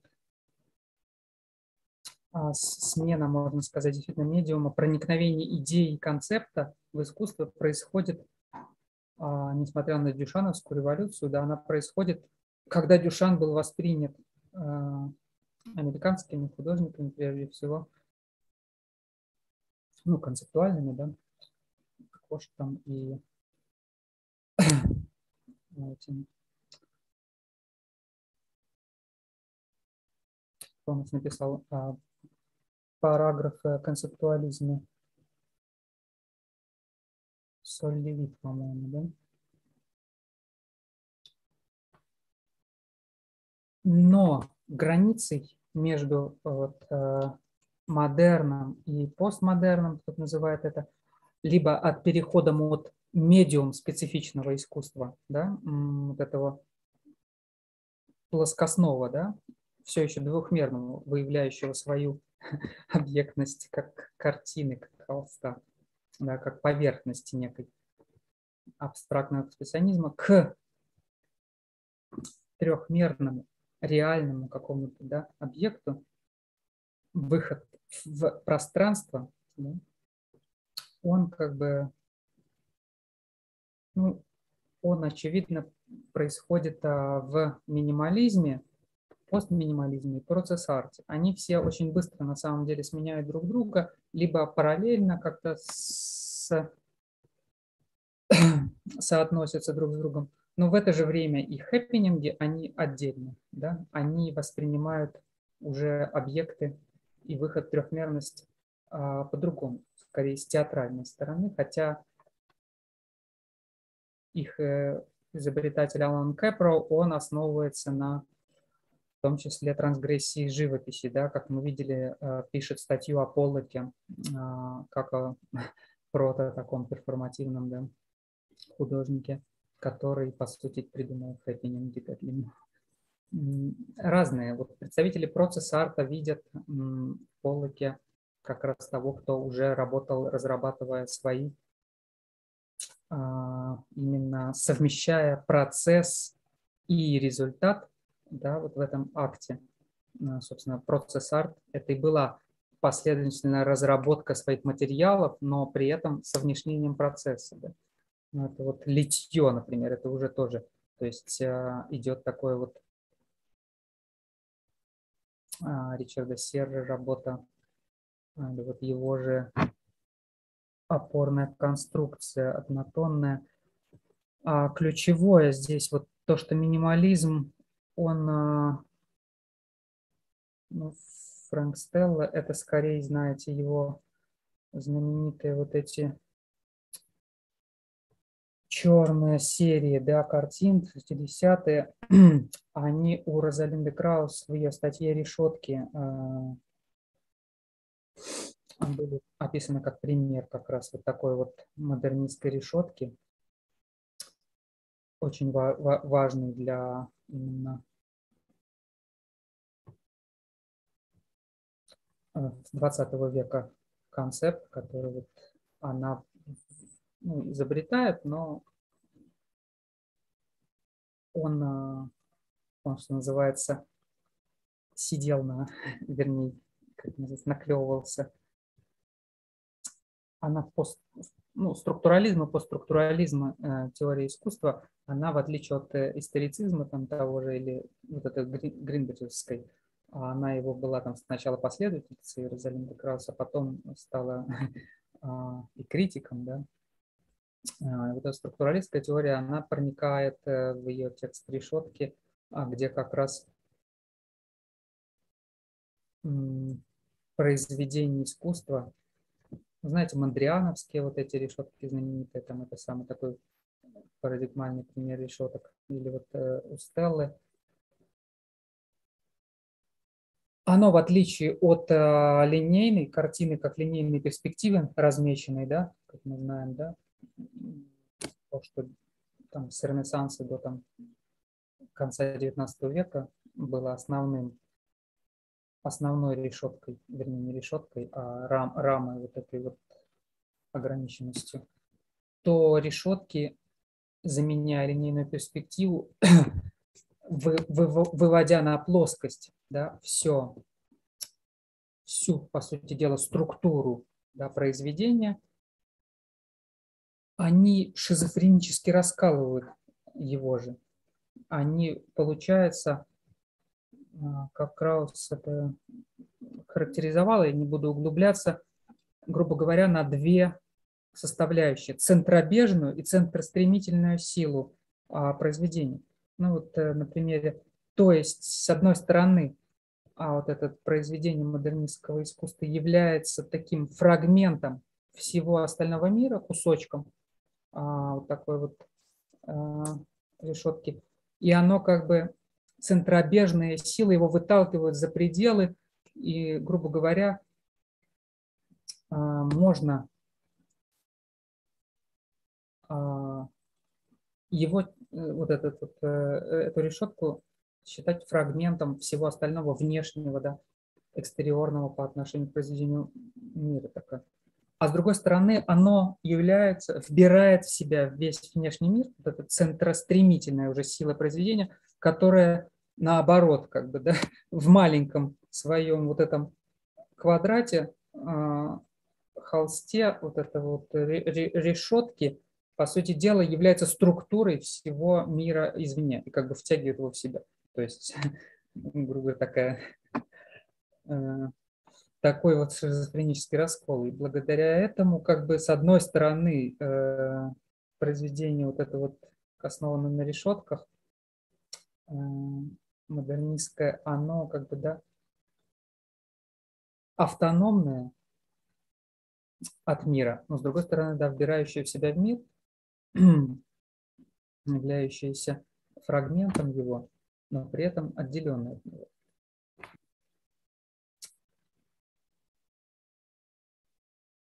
Ну и, и, и ключевое, что нужно понимать, что ну, у Розалинды Краус все равно остается вот это вот, хоть и структуралистское, но прочтение здесь, как мы понимаем, эстетического восприятия все равно зрительного. Да? То есть э, она здесь не пишет о концептуальном восприятии этих работ. А, в том числе минималистские работы, они еще не концептуальные. В том плане, что их нужно воспринимать не как идеи воплощенные, а как раз здесь ключевое выход в трехмерность, то есть обретение пространства этими работами, оно является ключевым появлением вот этого самого, то, что означивается как телесная феноменология зрителя или телесность, когда мы, как зрители, уже перестаем быть только зрением, только смотрящими на работу, то есть воспринимать ее одним органом да, чувств, пусть и самым как бы главным всегда, э, доставляющим нам большинство информации всегда. И еще тут очень важно, что мы утрачиваем вертикальное положение зрителя, потому что эти работы, они буквально там в минимализме, в процесс-арте, они опускаются на пол, становятся не на уровне нашего зрения, да, а на уровне, а, как это некоторые даже писали, скатологических каких-то э, влечений. То есть зритель буквально должен там нагнуться, или есть там работы, знаете, э, такие с туннелями, там где-то нужно куда-то подлазить, где-то пролезать, да. То есть буквально зритель обретает некое тело, и здесь это основывается на вот этой феноменологии а, тела а, Мерло-Панти, тогда как раз французского феноменолога, и во многом об этом же тоже пишет э, Краус, что вот эта телесность была взята, конечно же, в феноменологическом таком свете, то есть а, как тело соотносится с пространством. И получается, что появляется в музее, в выставочном пространстве не только работы, висящие на плоскости, не только какие-то объекты, но и они как-то, зритель вообще должен соотносить себя с ними в пространстве. И вот минимализм это, с одной стороны, конечно же, это критика комодифицированного, автономного арт-объекта э, картины, да, которая, несмотря на то, что она все время претендует на некую вот эту выделенность, автономию свою эстетическую, она в том числе не может избавиться от а, товарной формы и вбирается ей постоянно, да, ну, вот этот проект радикальный, да, адернианский, он как бы в итоге, да, потерпел, можно сказать, поражение там в том же поп-арте, да, когда уже вещи массовой культуры неотличимы от, от э, создаваемых художниками, но они всегда сохраняют зазор. Того же Уорхола, да, как мы знаем, он, э, делая произведение искусства на основе массовых вещей и репродуцируя бесконечно, всегда остается там некий, некий зазор, который не позволяет этим вещам полностью раствориться в массовой культуре. Но, в общем, минимализм, он э, стоит действительно на границе между модерном и постмодерном, как такой переход к концептуальному искусству и процесс арт. Ну, эта картинка, да, примеры авангарда. Э, тут просто я хотел, да, опять же сказать о том, как в своей книжке вот об этом, это, об историческом авангарде, который мы разбирали с вами, Питера Бюргера, который как раз говорит о том, что исторический авангард проиграл, потому что неоавангард заново восстановил вещь как произведение в своей вот этой силе. Да? То, что исторический авангард пытался разрушить восприятие вещи как автономное произведение искусства, неоавангард берет эти вещи и выставляет их как произведение. Но это не значит, что исторический авангард полностью потерпел поражение. Он, естественно, изменил само произведение искусства, само понимание произведения искусства как объекта. После авангарда уже совершенно по-другому оно стало восприниматься. И прежде всего оно стало восприниматься уже не как иллюзорная да, репрезентация чего-то, а как вот это вот именно материальное, да, а, материальное а, или как вот режим делания именно конкретных материальных объектов, то, что вот минималисты и в процесс-арте воплотили больше всего. Не знаю, у меня где-то были ну вот Дональд Джад, ну, вот эти кубы, да, это просто материальные, вылитые, да, из стали, гальванизированной стали, боксы 40 на 40 выставляемые, и ничего, как бы, они ни к чему не должны были символизировать, не отсылать, а как бы вот э, воплощать собой именно реальные, вот эти вот материальные объекты. А, ну вот, или потом, как мы знаем, да, это было расширено на Land Art, когда он появляется там с первой выставки, тоже американской, в Нью-Йорке, там земляные работы, так называется. Ну вот самый известный там представитель его Роберт Смитсон, он много делал чего. Вот это его известное, знаете, на соляном озере в Юте. А, Краус это в другой своей статье, Розалинда, разбирает, знаете, скульптуру в расширенном поле. Тоже ее такая парадигмальная статья, наверное, вы тоже ее читали, когда не только произведение искусства утрачивает эту свою замкнутую автономию, но и скульптура, которая воспринималась еще 50-е, там, до минимализма, до тем более концептуализма, как некая, знаете, есть анекдот, что то, обо что спотыкаешься, когда пытаешься получше рассмотреть живопись, да, как некий а, объект э, скульптурный, фигуративный или даже модернистский, э, не фигуративный, там, как у потом у Родена или Бранкузи, да, Джакомитти, там, не знаю, не исходя из своей морфологии форм объектов, а как часть, с одной стороны, ландшафта, с другой стороны, архитектуры. Но там Краус пишет, что это и не ландшафт, и не архитектура. То есть это какая-то э, вещь, располагающаяся в таком поле зрения нашего, а, вот, э, которая не является ни ландшафтом, ни архитектурой, но, но она занимает какое-то пространство. То есть она уже определяется, исходя из своих внешних, конечно же, границ, а не внутренних вот этих строений. Ну и вот эта дамба, которую там делал самый гигантский, ее тоже можно только вот аэроснимок сделать. Причем, причем она уходит под воду, то есть такая эфемерность. Сегодня, конечно, такие модернистские вещи и ленд такого рода, кто делает, он его критикует. Ну, с одной стороны, такой, да, вторжение грубое в природу, а сегодня экологический поворот – это друг, другая уже тема.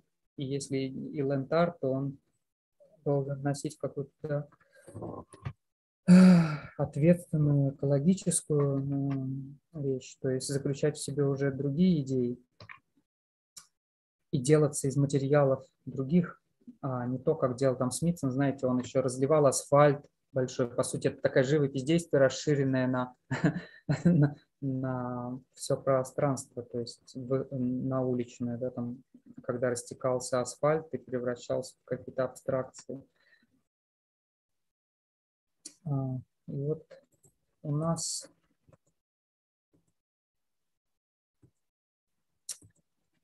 когда образуется концептуализм, ну, парадигмальная работа «Три стула», да,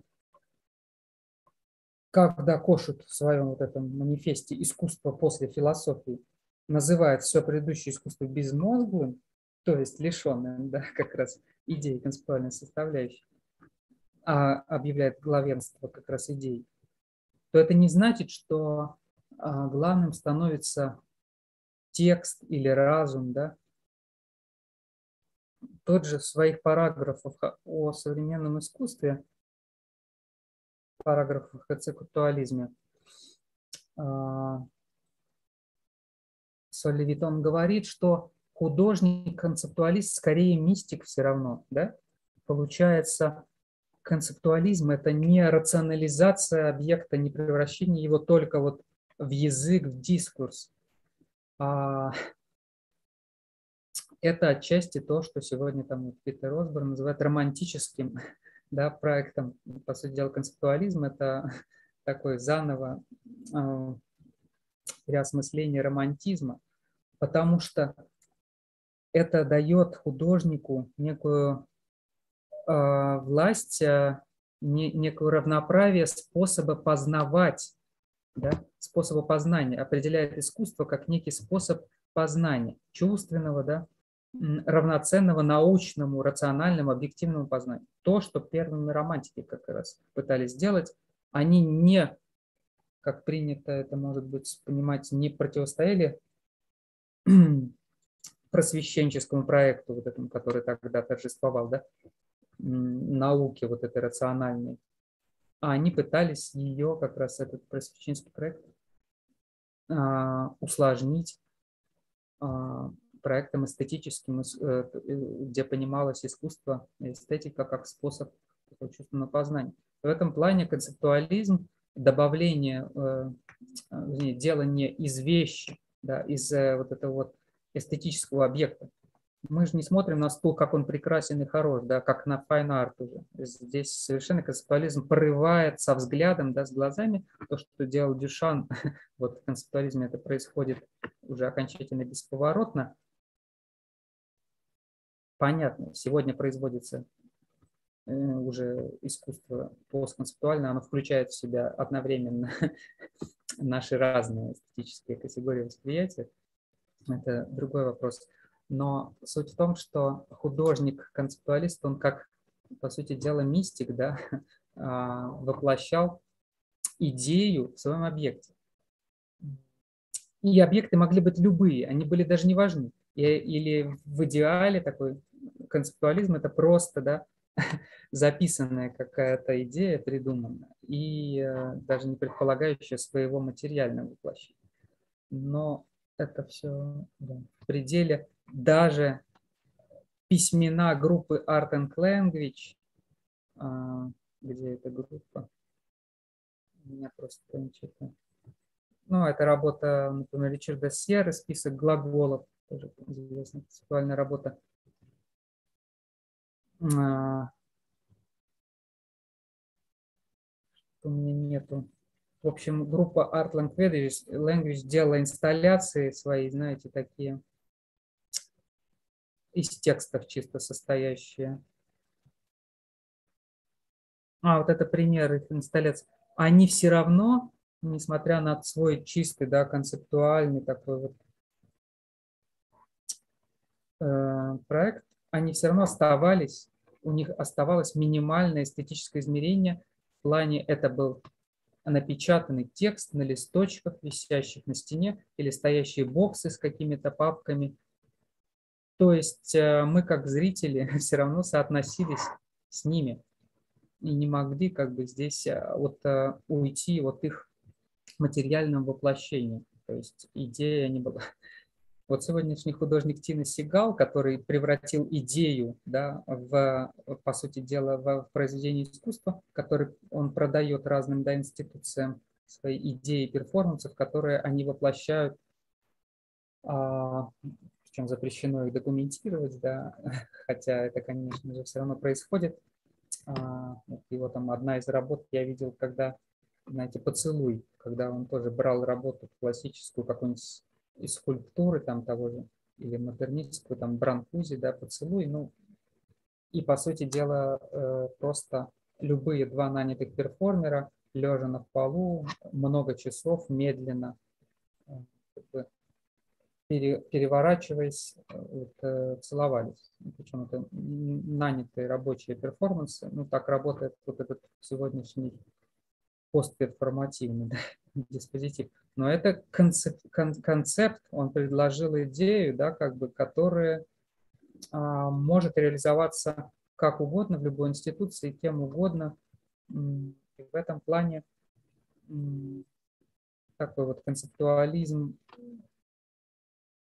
как вне эстетическая абсолютно категория в искусстве не, все равно не воплотим. И главное, ключевое, наверное, в Кошетовском вот этом вот тексте «Искусство после философии», что искусство само становится языком, да, то есть если это равноценный способ познания мира, то искусство само язык, само как бы... Это не значит, что все работы наполнены текстами, да, или дискурсивной становится, текстуальной, но оно само устроено как язык. Тогда же правит бал вот эта вот семиотическая традиция, да, семиотика, которая там еще сохранит свою власть там, до 80-х, да, пока не победят, можно сказать, там visual studies и performance там, studies семиотика все располагает э, как язык в этом плане, и искусство становится понима, понимается как язык. И здесь а, структуралистская да, теория Розалинды Краус тоже как бы здесь, сказать, с этим связана. Так.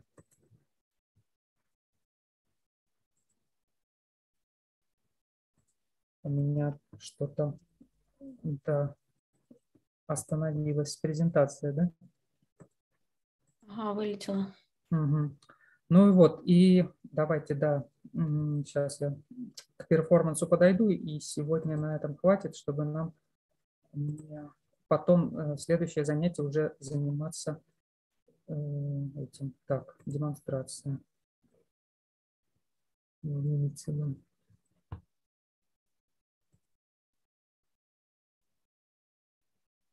Так,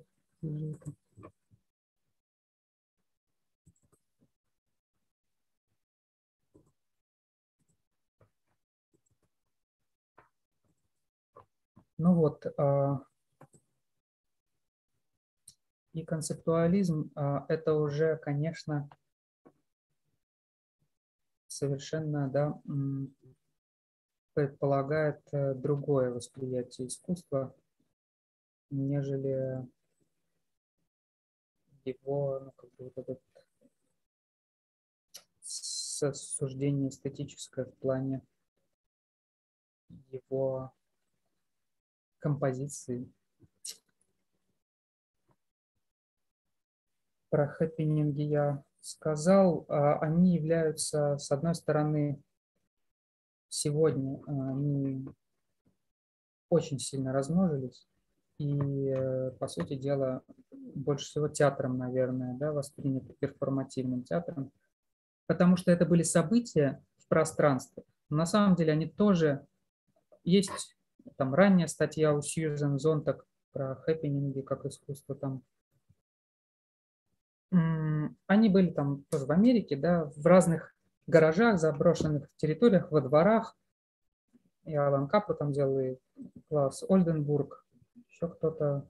В общем, они небольшое время были в своем таком классическом режиме. Потом они стали довольно-таки мейнстримной категории и преподаваться там стали даже в разных арт-академиях, потому что они были лишены вот своего действительно критического, негативного какого-то посыла.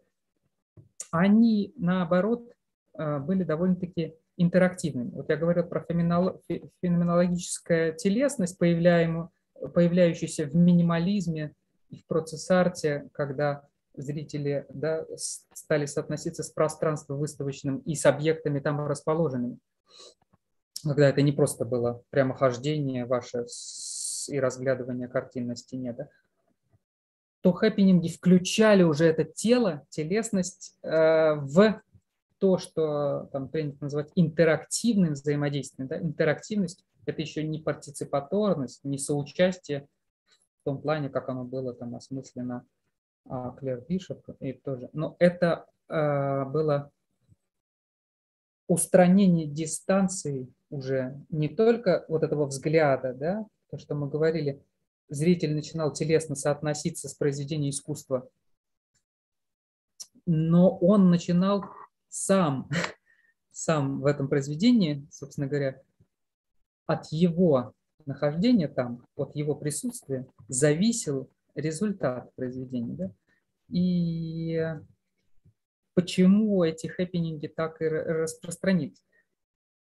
Казалось бы, здесь можно говорить о том, что шла демократизация, это конец 50-х, 60-х, зритель хотел уже в чем-то участвовать сам, да, вот это новое поколение бэби-бума, рождающееся, а потом в 60-е студенческих и психоделических революций, зритель действительно а, как бы здесь сближался. Но его роль, его участие никак не осмыслялось в плане как раз демократичности или э, желания самого зрителя. Его, конечно, насильно не заставляли, но его воспринимали во многом, и тот же Капро писал, как некую живую, э, живую картину, продолжение живописи другими средствами. То есть вот полок краски разбрызгивал, а мы будем зрителей запихивать в гараж или во двор, вынуждать их там бегать, прыгать по, а, не знаю, у меня где-то по покрышкам во дворе, а как-то соотноситься. И плюс там, знаете, очень много было таких бедных, тоже гря, э, ну, грязных материалов, ну, objet trouvé практически найденных, да, которыми все заполнялось. Но это вот хэппининг уже какой-то на улице сделанный. Я не помню, он связан. У меня тут нету того с покрышками. Блин, снова, снова зависло.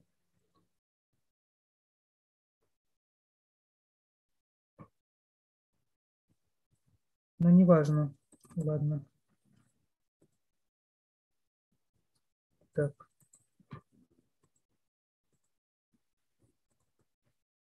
А, в общем, э, важно то, что зритель утрачивал дистанцию да, а, по отношению к художнику и к произведению. Это, с одной стороны, была дистанция привилегированная, а дистанция вот этого критики способного суждения. Зритель, когда мог, глядя на, сам выбирать эту дистанцию, глядя на произведение и судить о ней.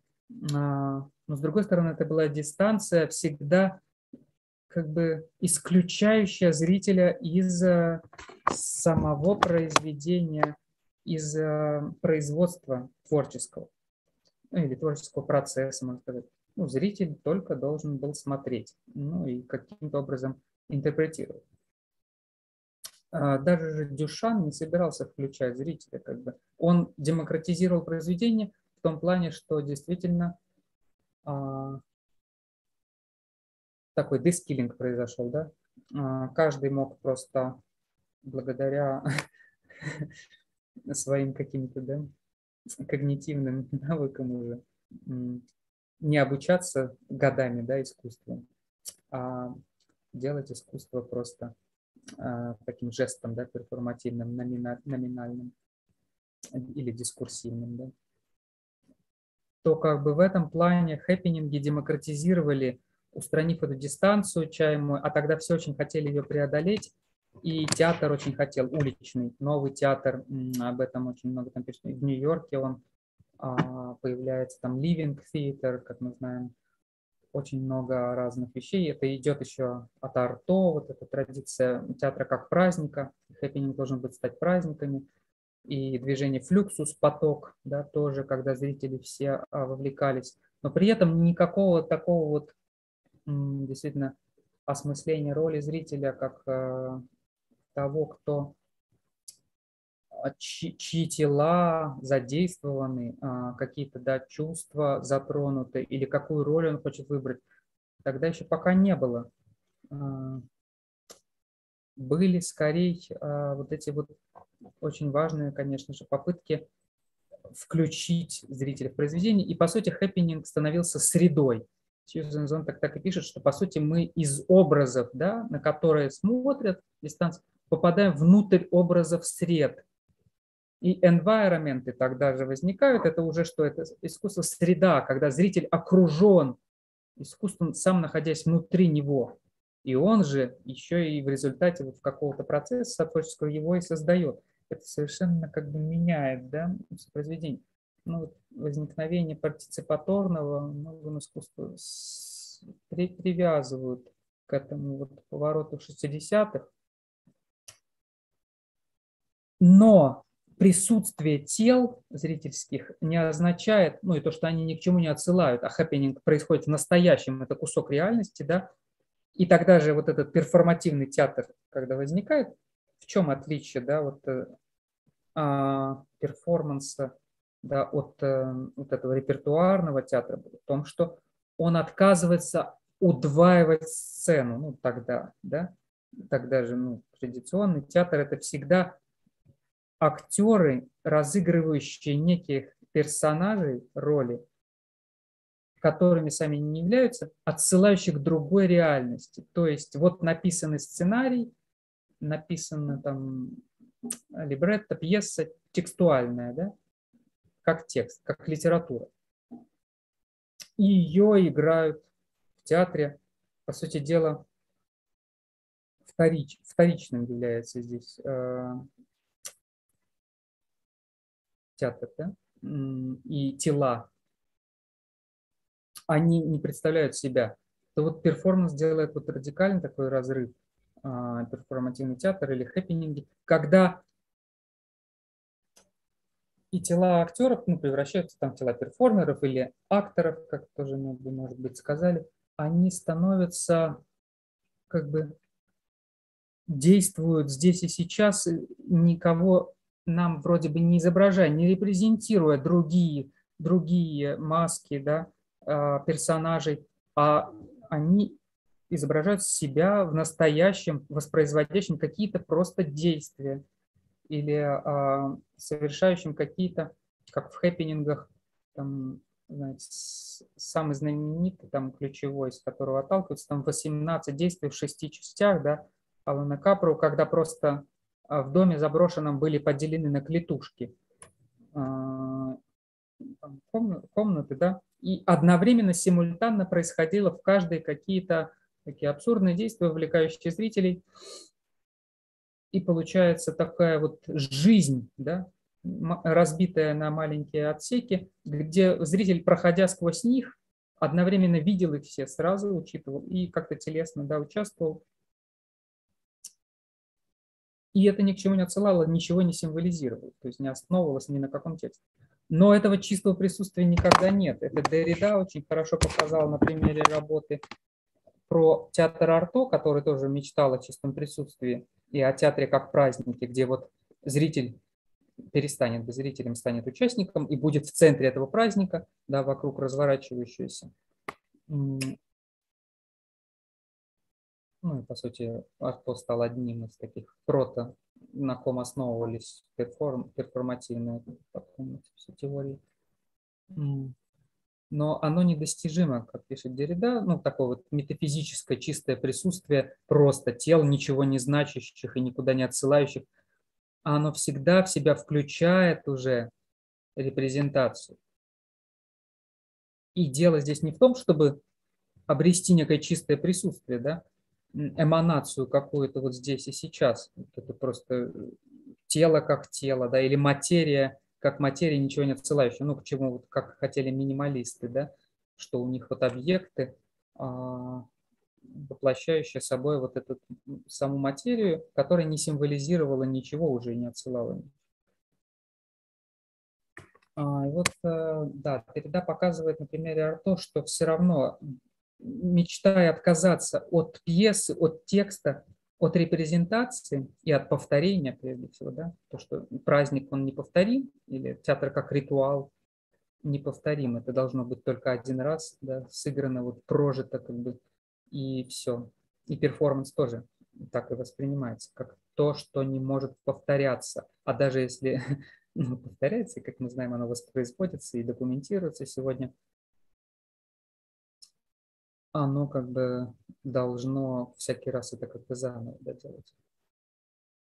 Но вот это чистое присутствие телесности, не в хэппинингах в том числе, ну, и не в театре арто, а, ну, в хэппинингах тем более, которые вульгаризировали, можно сказать, идею арто, просто ее сделали по фану, чтобы все могли участвовать безопасно, да, а, так интерактивно, да. Ну и мы знаем, сегодняшние театры очень много это восприняли там, в режиме иммерсивных или променад театров, прогулок там разных. Но об этом сейчас не будем. В общем, ключевое, что у Арто был отказ от пьесы как текста, заранее предзадан, в пользу тела актера и вещей, объектов, которые сами становятся иероглифами, то есть знаками своего вот здесь присутствия. То есть, по сути дела, это не просто чистое присутствие материи, а она сама себя выражает тоже на каком-то же языке, но этот язык не оторван от их тела или от объектов, которые находятся здесь. Ну, Артоя пишет о языке жестов, о праязыке неком доязыковом, довербальном, вот этом вот еще а, первобытном, да, можно сказать, или э, детском, да, всхлипе, там, вое, крике каком-то. И это, это тоже, по сути дела, иероглиф чем отличается от нашего фонетического письма? То, что он в теле своего письма, как бы он иконический, он несет в себе сразу, ну там египетский, там, да, иероглиф, он несет в себе сразу же, а, как бы является и материальным изображением, а, ну как бы вот то, то что он изображает, и а, семиотическим, то есть значение в себе содержит, то есть без отрыва от этого. Если наш язык вот этот фонетический, вот мы говорим или пишем, он а, как бы да, является символическим, он отсылает э, к другим, к означаемым. Да? Это из семиотики еще Сосюровск. То вот этот радикальный, перформативный, да, такой задел, как бы арто, и в том числе то, что было вот это воспринято в перформансах, это не чистое присутствие тела только лишь. Это вот такое, можно сказать, в этой парадигме семиотической, это тело как иероглиф, тело как знак, тело как э, разрез. Вот видите тут Вито Акончи, да, известного перформанс, когда он себя кусал, да, впивался зубами. Тело как укус, то есть с одной стороны художники пытаются выйти за пределы произведения, да, преодолеть в том числе там вот э, его текстуальность, э, а, вот э, перформанс был реакцией на концептуальное искусство, которое, по их мнению, было слишком да, текстуальным, и обозначить вот эту материю или как бы свой собственный такой эпидермис, да, границы тела. Но, с другой стороны, это все равно продолжает восприниматься, тело в перформансе, в таком концептуальном, классическом, там, 60-х, 70-х годов, как э, письмо, как знаки. То есть вот в этой парадигме оно вторично, это не материальность, говорящая там сама за себя, как сегодня это уже в, в неоматериалистическом а вот этот там классический там перформанс Каролин Шнейерман, там такой иконы да, феминистского перформанса для всех, когда она вынимала там, влагалище вот этот свиток, да, а, и там, там за, за, зачитывала его, а, это как бы тоже же получается такое вот совмещение, да, совмещение материи и дискурса а, в таком вот а, нерасчлененном, да, здесь получается присутствие и репрезентация, означивание происходит одновременно с телесностью, а не просто мы говорим о какой-то там а, присутствии вот таком вот без, без, без, без значения. Ну, вот живопись вагины, вот этот Шигека Кубота, она, по-моему, из Флаксуса тоже была художница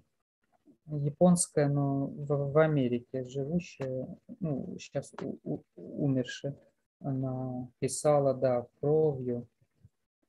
По сути, ответ тоже такой маскулинный, да, традиции вот этой абстрактного экспрессионизма американского. Это тоже же э, как бы письмо, тоже письмо абстрактное, только уже такое вот совмещенное, да, с материей не отделен. И в этом плане возникновение перформанса это не возникновение вот такого чистого материальности, да, это всегда совмещение некого, да, материи дискурса вместе. А, и это сложно, сложные отношения всегда были, у них такая диалектика нужно рассматривать. Ну вот Деннис Оппенхайм, он прямо вот книжку по, по какой-то военной тактике на себя клал, загорая, да, и у него оставался след от нее. То есть тут напрямую такие знаки с телом сотрудничают. Но вот эти поздние уже более перформансы, там, это действительно другой поворот. Мы не будем сегодня рассматривать времени мало. Ну, знаете, у Поля Пресьяда есть вот это, то, что он называет постпорнографическим пространством на примере художницы Энни Спрингл, которая а, в свое влагалище помещая там зеркальце и как-то вводя это да, для зри... зрители могли, короче, подходить и заглядывать через зеркало, видеть внутренности ее влагалища. И там много тысяч зрителей через это прошло. То есть здесь сложно говорить уже о вторичности тела по отношению к материи. Вау. Ой, по отношению к дискурсу. А, ну вот началось, можно сказать, там это там еще 80-е, 90-е, когда материя прорывается, действительно становится не вторичной, а когда вот эти процессы, например, а, пластической хирургии, то есть напрямую работы с телом, они уже, можно сказать, деконструируют а, вообще ну, такие семиотические способы прочтения тела, как там раны, порезы, укусы или чего-то еще, потому что Э, художница там Орлан также там на протяжении скольких там лет, я не помню, в конце 60-х, 90-х, она вот делала серию там перформансов перевоплощения Святой Орлан да, в Богоматерь, делая себе пластические операции постоянно, там, а, превращаясь в такие, каждая операция должна была ее приближать к стандартам какой-то вот красоты женской, но при этом уровень операции, по-моему, в то время был такой, что ее целое все более становилось каким-то жутким, не знаю. Это, это такое, да, уже куда более материальное здесь эксцессы происходит. Ну и, наверное, на чем мы закончим, когда вещь, объект перекочевывает в инсталляции и перестает восприниматься как замкнутая на себя морфологически вот эта форма, за которую критикует Кошут, вот это безмозглое искусство, да, которое воспринималось как ну, там, живопись или какой-то там скульптурный объект. И когда становится инсталляция, это что? Это система вещей, да? Тогда вот написана была работа же Бодрияром, система вещей так и называлась. И ну, ключевой первой такой вот выставкой кураторской называют Харальда Зеймана, знаете, выставку «Когда отношения становятся формой». Ну, она такая парадигмальная. Там вещи, действительно, не только э, в вещи проникал концепт, ну вот как концептуализм, но как бы уже сами вот эти незримые или в терминологии Люси Липпорт, которая пишет тогда же книжку в 1973 году э, о дематериализации да, искусства, 6 лет дематериализации искусства, когда незримые все процессы художественные, какие-то практики осознаются как эстетическая форма, вполне себе, да, хоть и не материальная, но она материальная. Просто тут как матери... понимать материальность. кто-то критикует Люси Липпорт, что она понимает дематериализацию искусства в такой физикалистской терминологии там, 19 века, ну, позитивистской. Да, Если в сайт-специфик арте или в хэппининге нету а, материального результата, объекта какого-то не остается, то это как бы вот и дематериализованное искусство.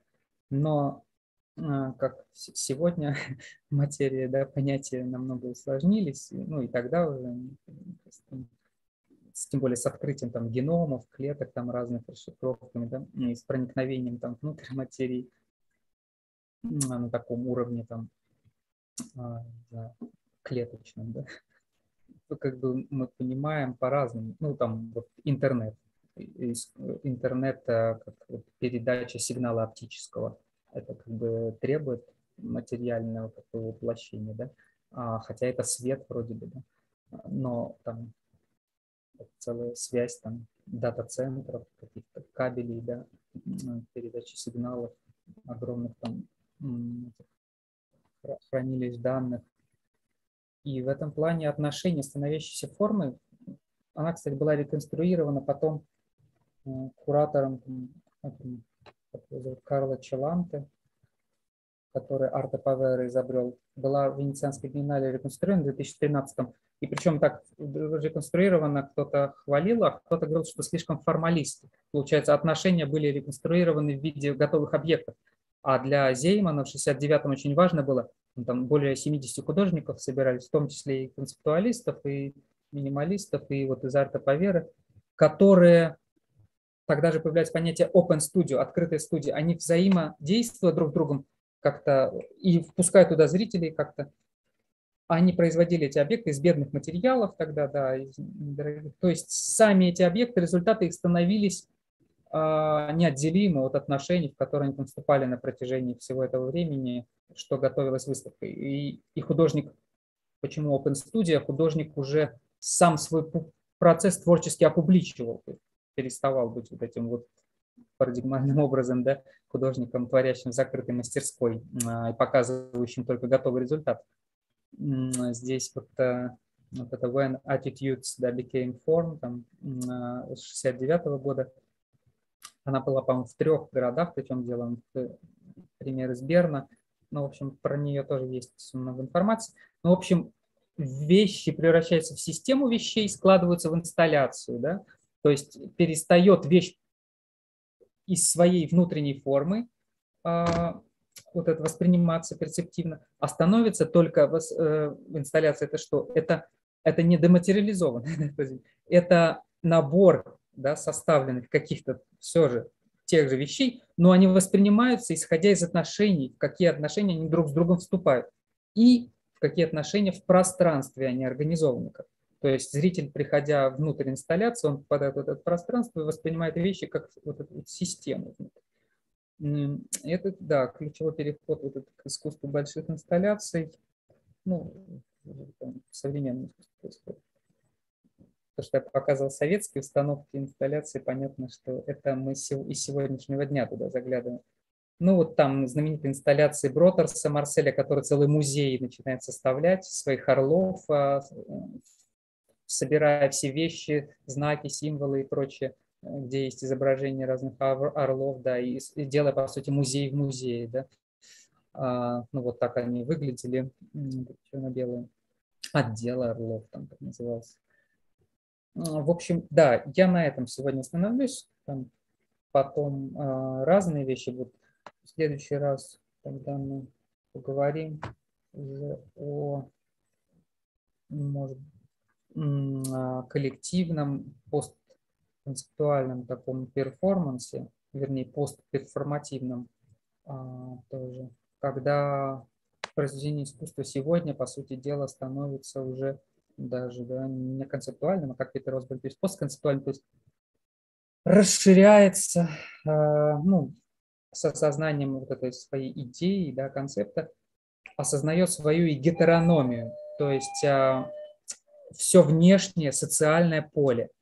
То есть получается тот же перформанс сегодня, он уже определяется не как действие живое да, в пространстве, а он э, уже даже определяется как культурологически, антропологически, да, как какой-то просто, не знаю, длительные процессы там социальные, можно сказать, инклюзивные там, или есть разных много сегодня проектов, коллаборативные, да, а, полезные этические. Ну вот, ладно, тогда вот, если у нас есть какие-то вопросы, комментарии, а то мы подзадержались. Так, Пока только спасибо. Да, вам спасибо, что были с нами, за внимание. Надеюсь... Спасибо огромное. Не слишком утомились. Нет, все отлично, спасибо. Вот, я пришлю, да, я не прислал презентации предыдущие, потому что, потому что, потому... А, они у меня, да, были, потому что на жестком диске отдельном. Но я пришлю тогда, давайте завтра. Вот, а по этой лекции могу литературу, либо после второй сразу общую какую-то короткую библиографию. 18 февраля встречаемся, правильно Аня нам пишет. Вот. Ну и плюс всегда можете писать и, и этот, э, или отмечать меня в чате, чтобы, потому что там сотни сообщений, я не могу следить за всеми. Да? Тогда всем пока. Спасибо, до свидания.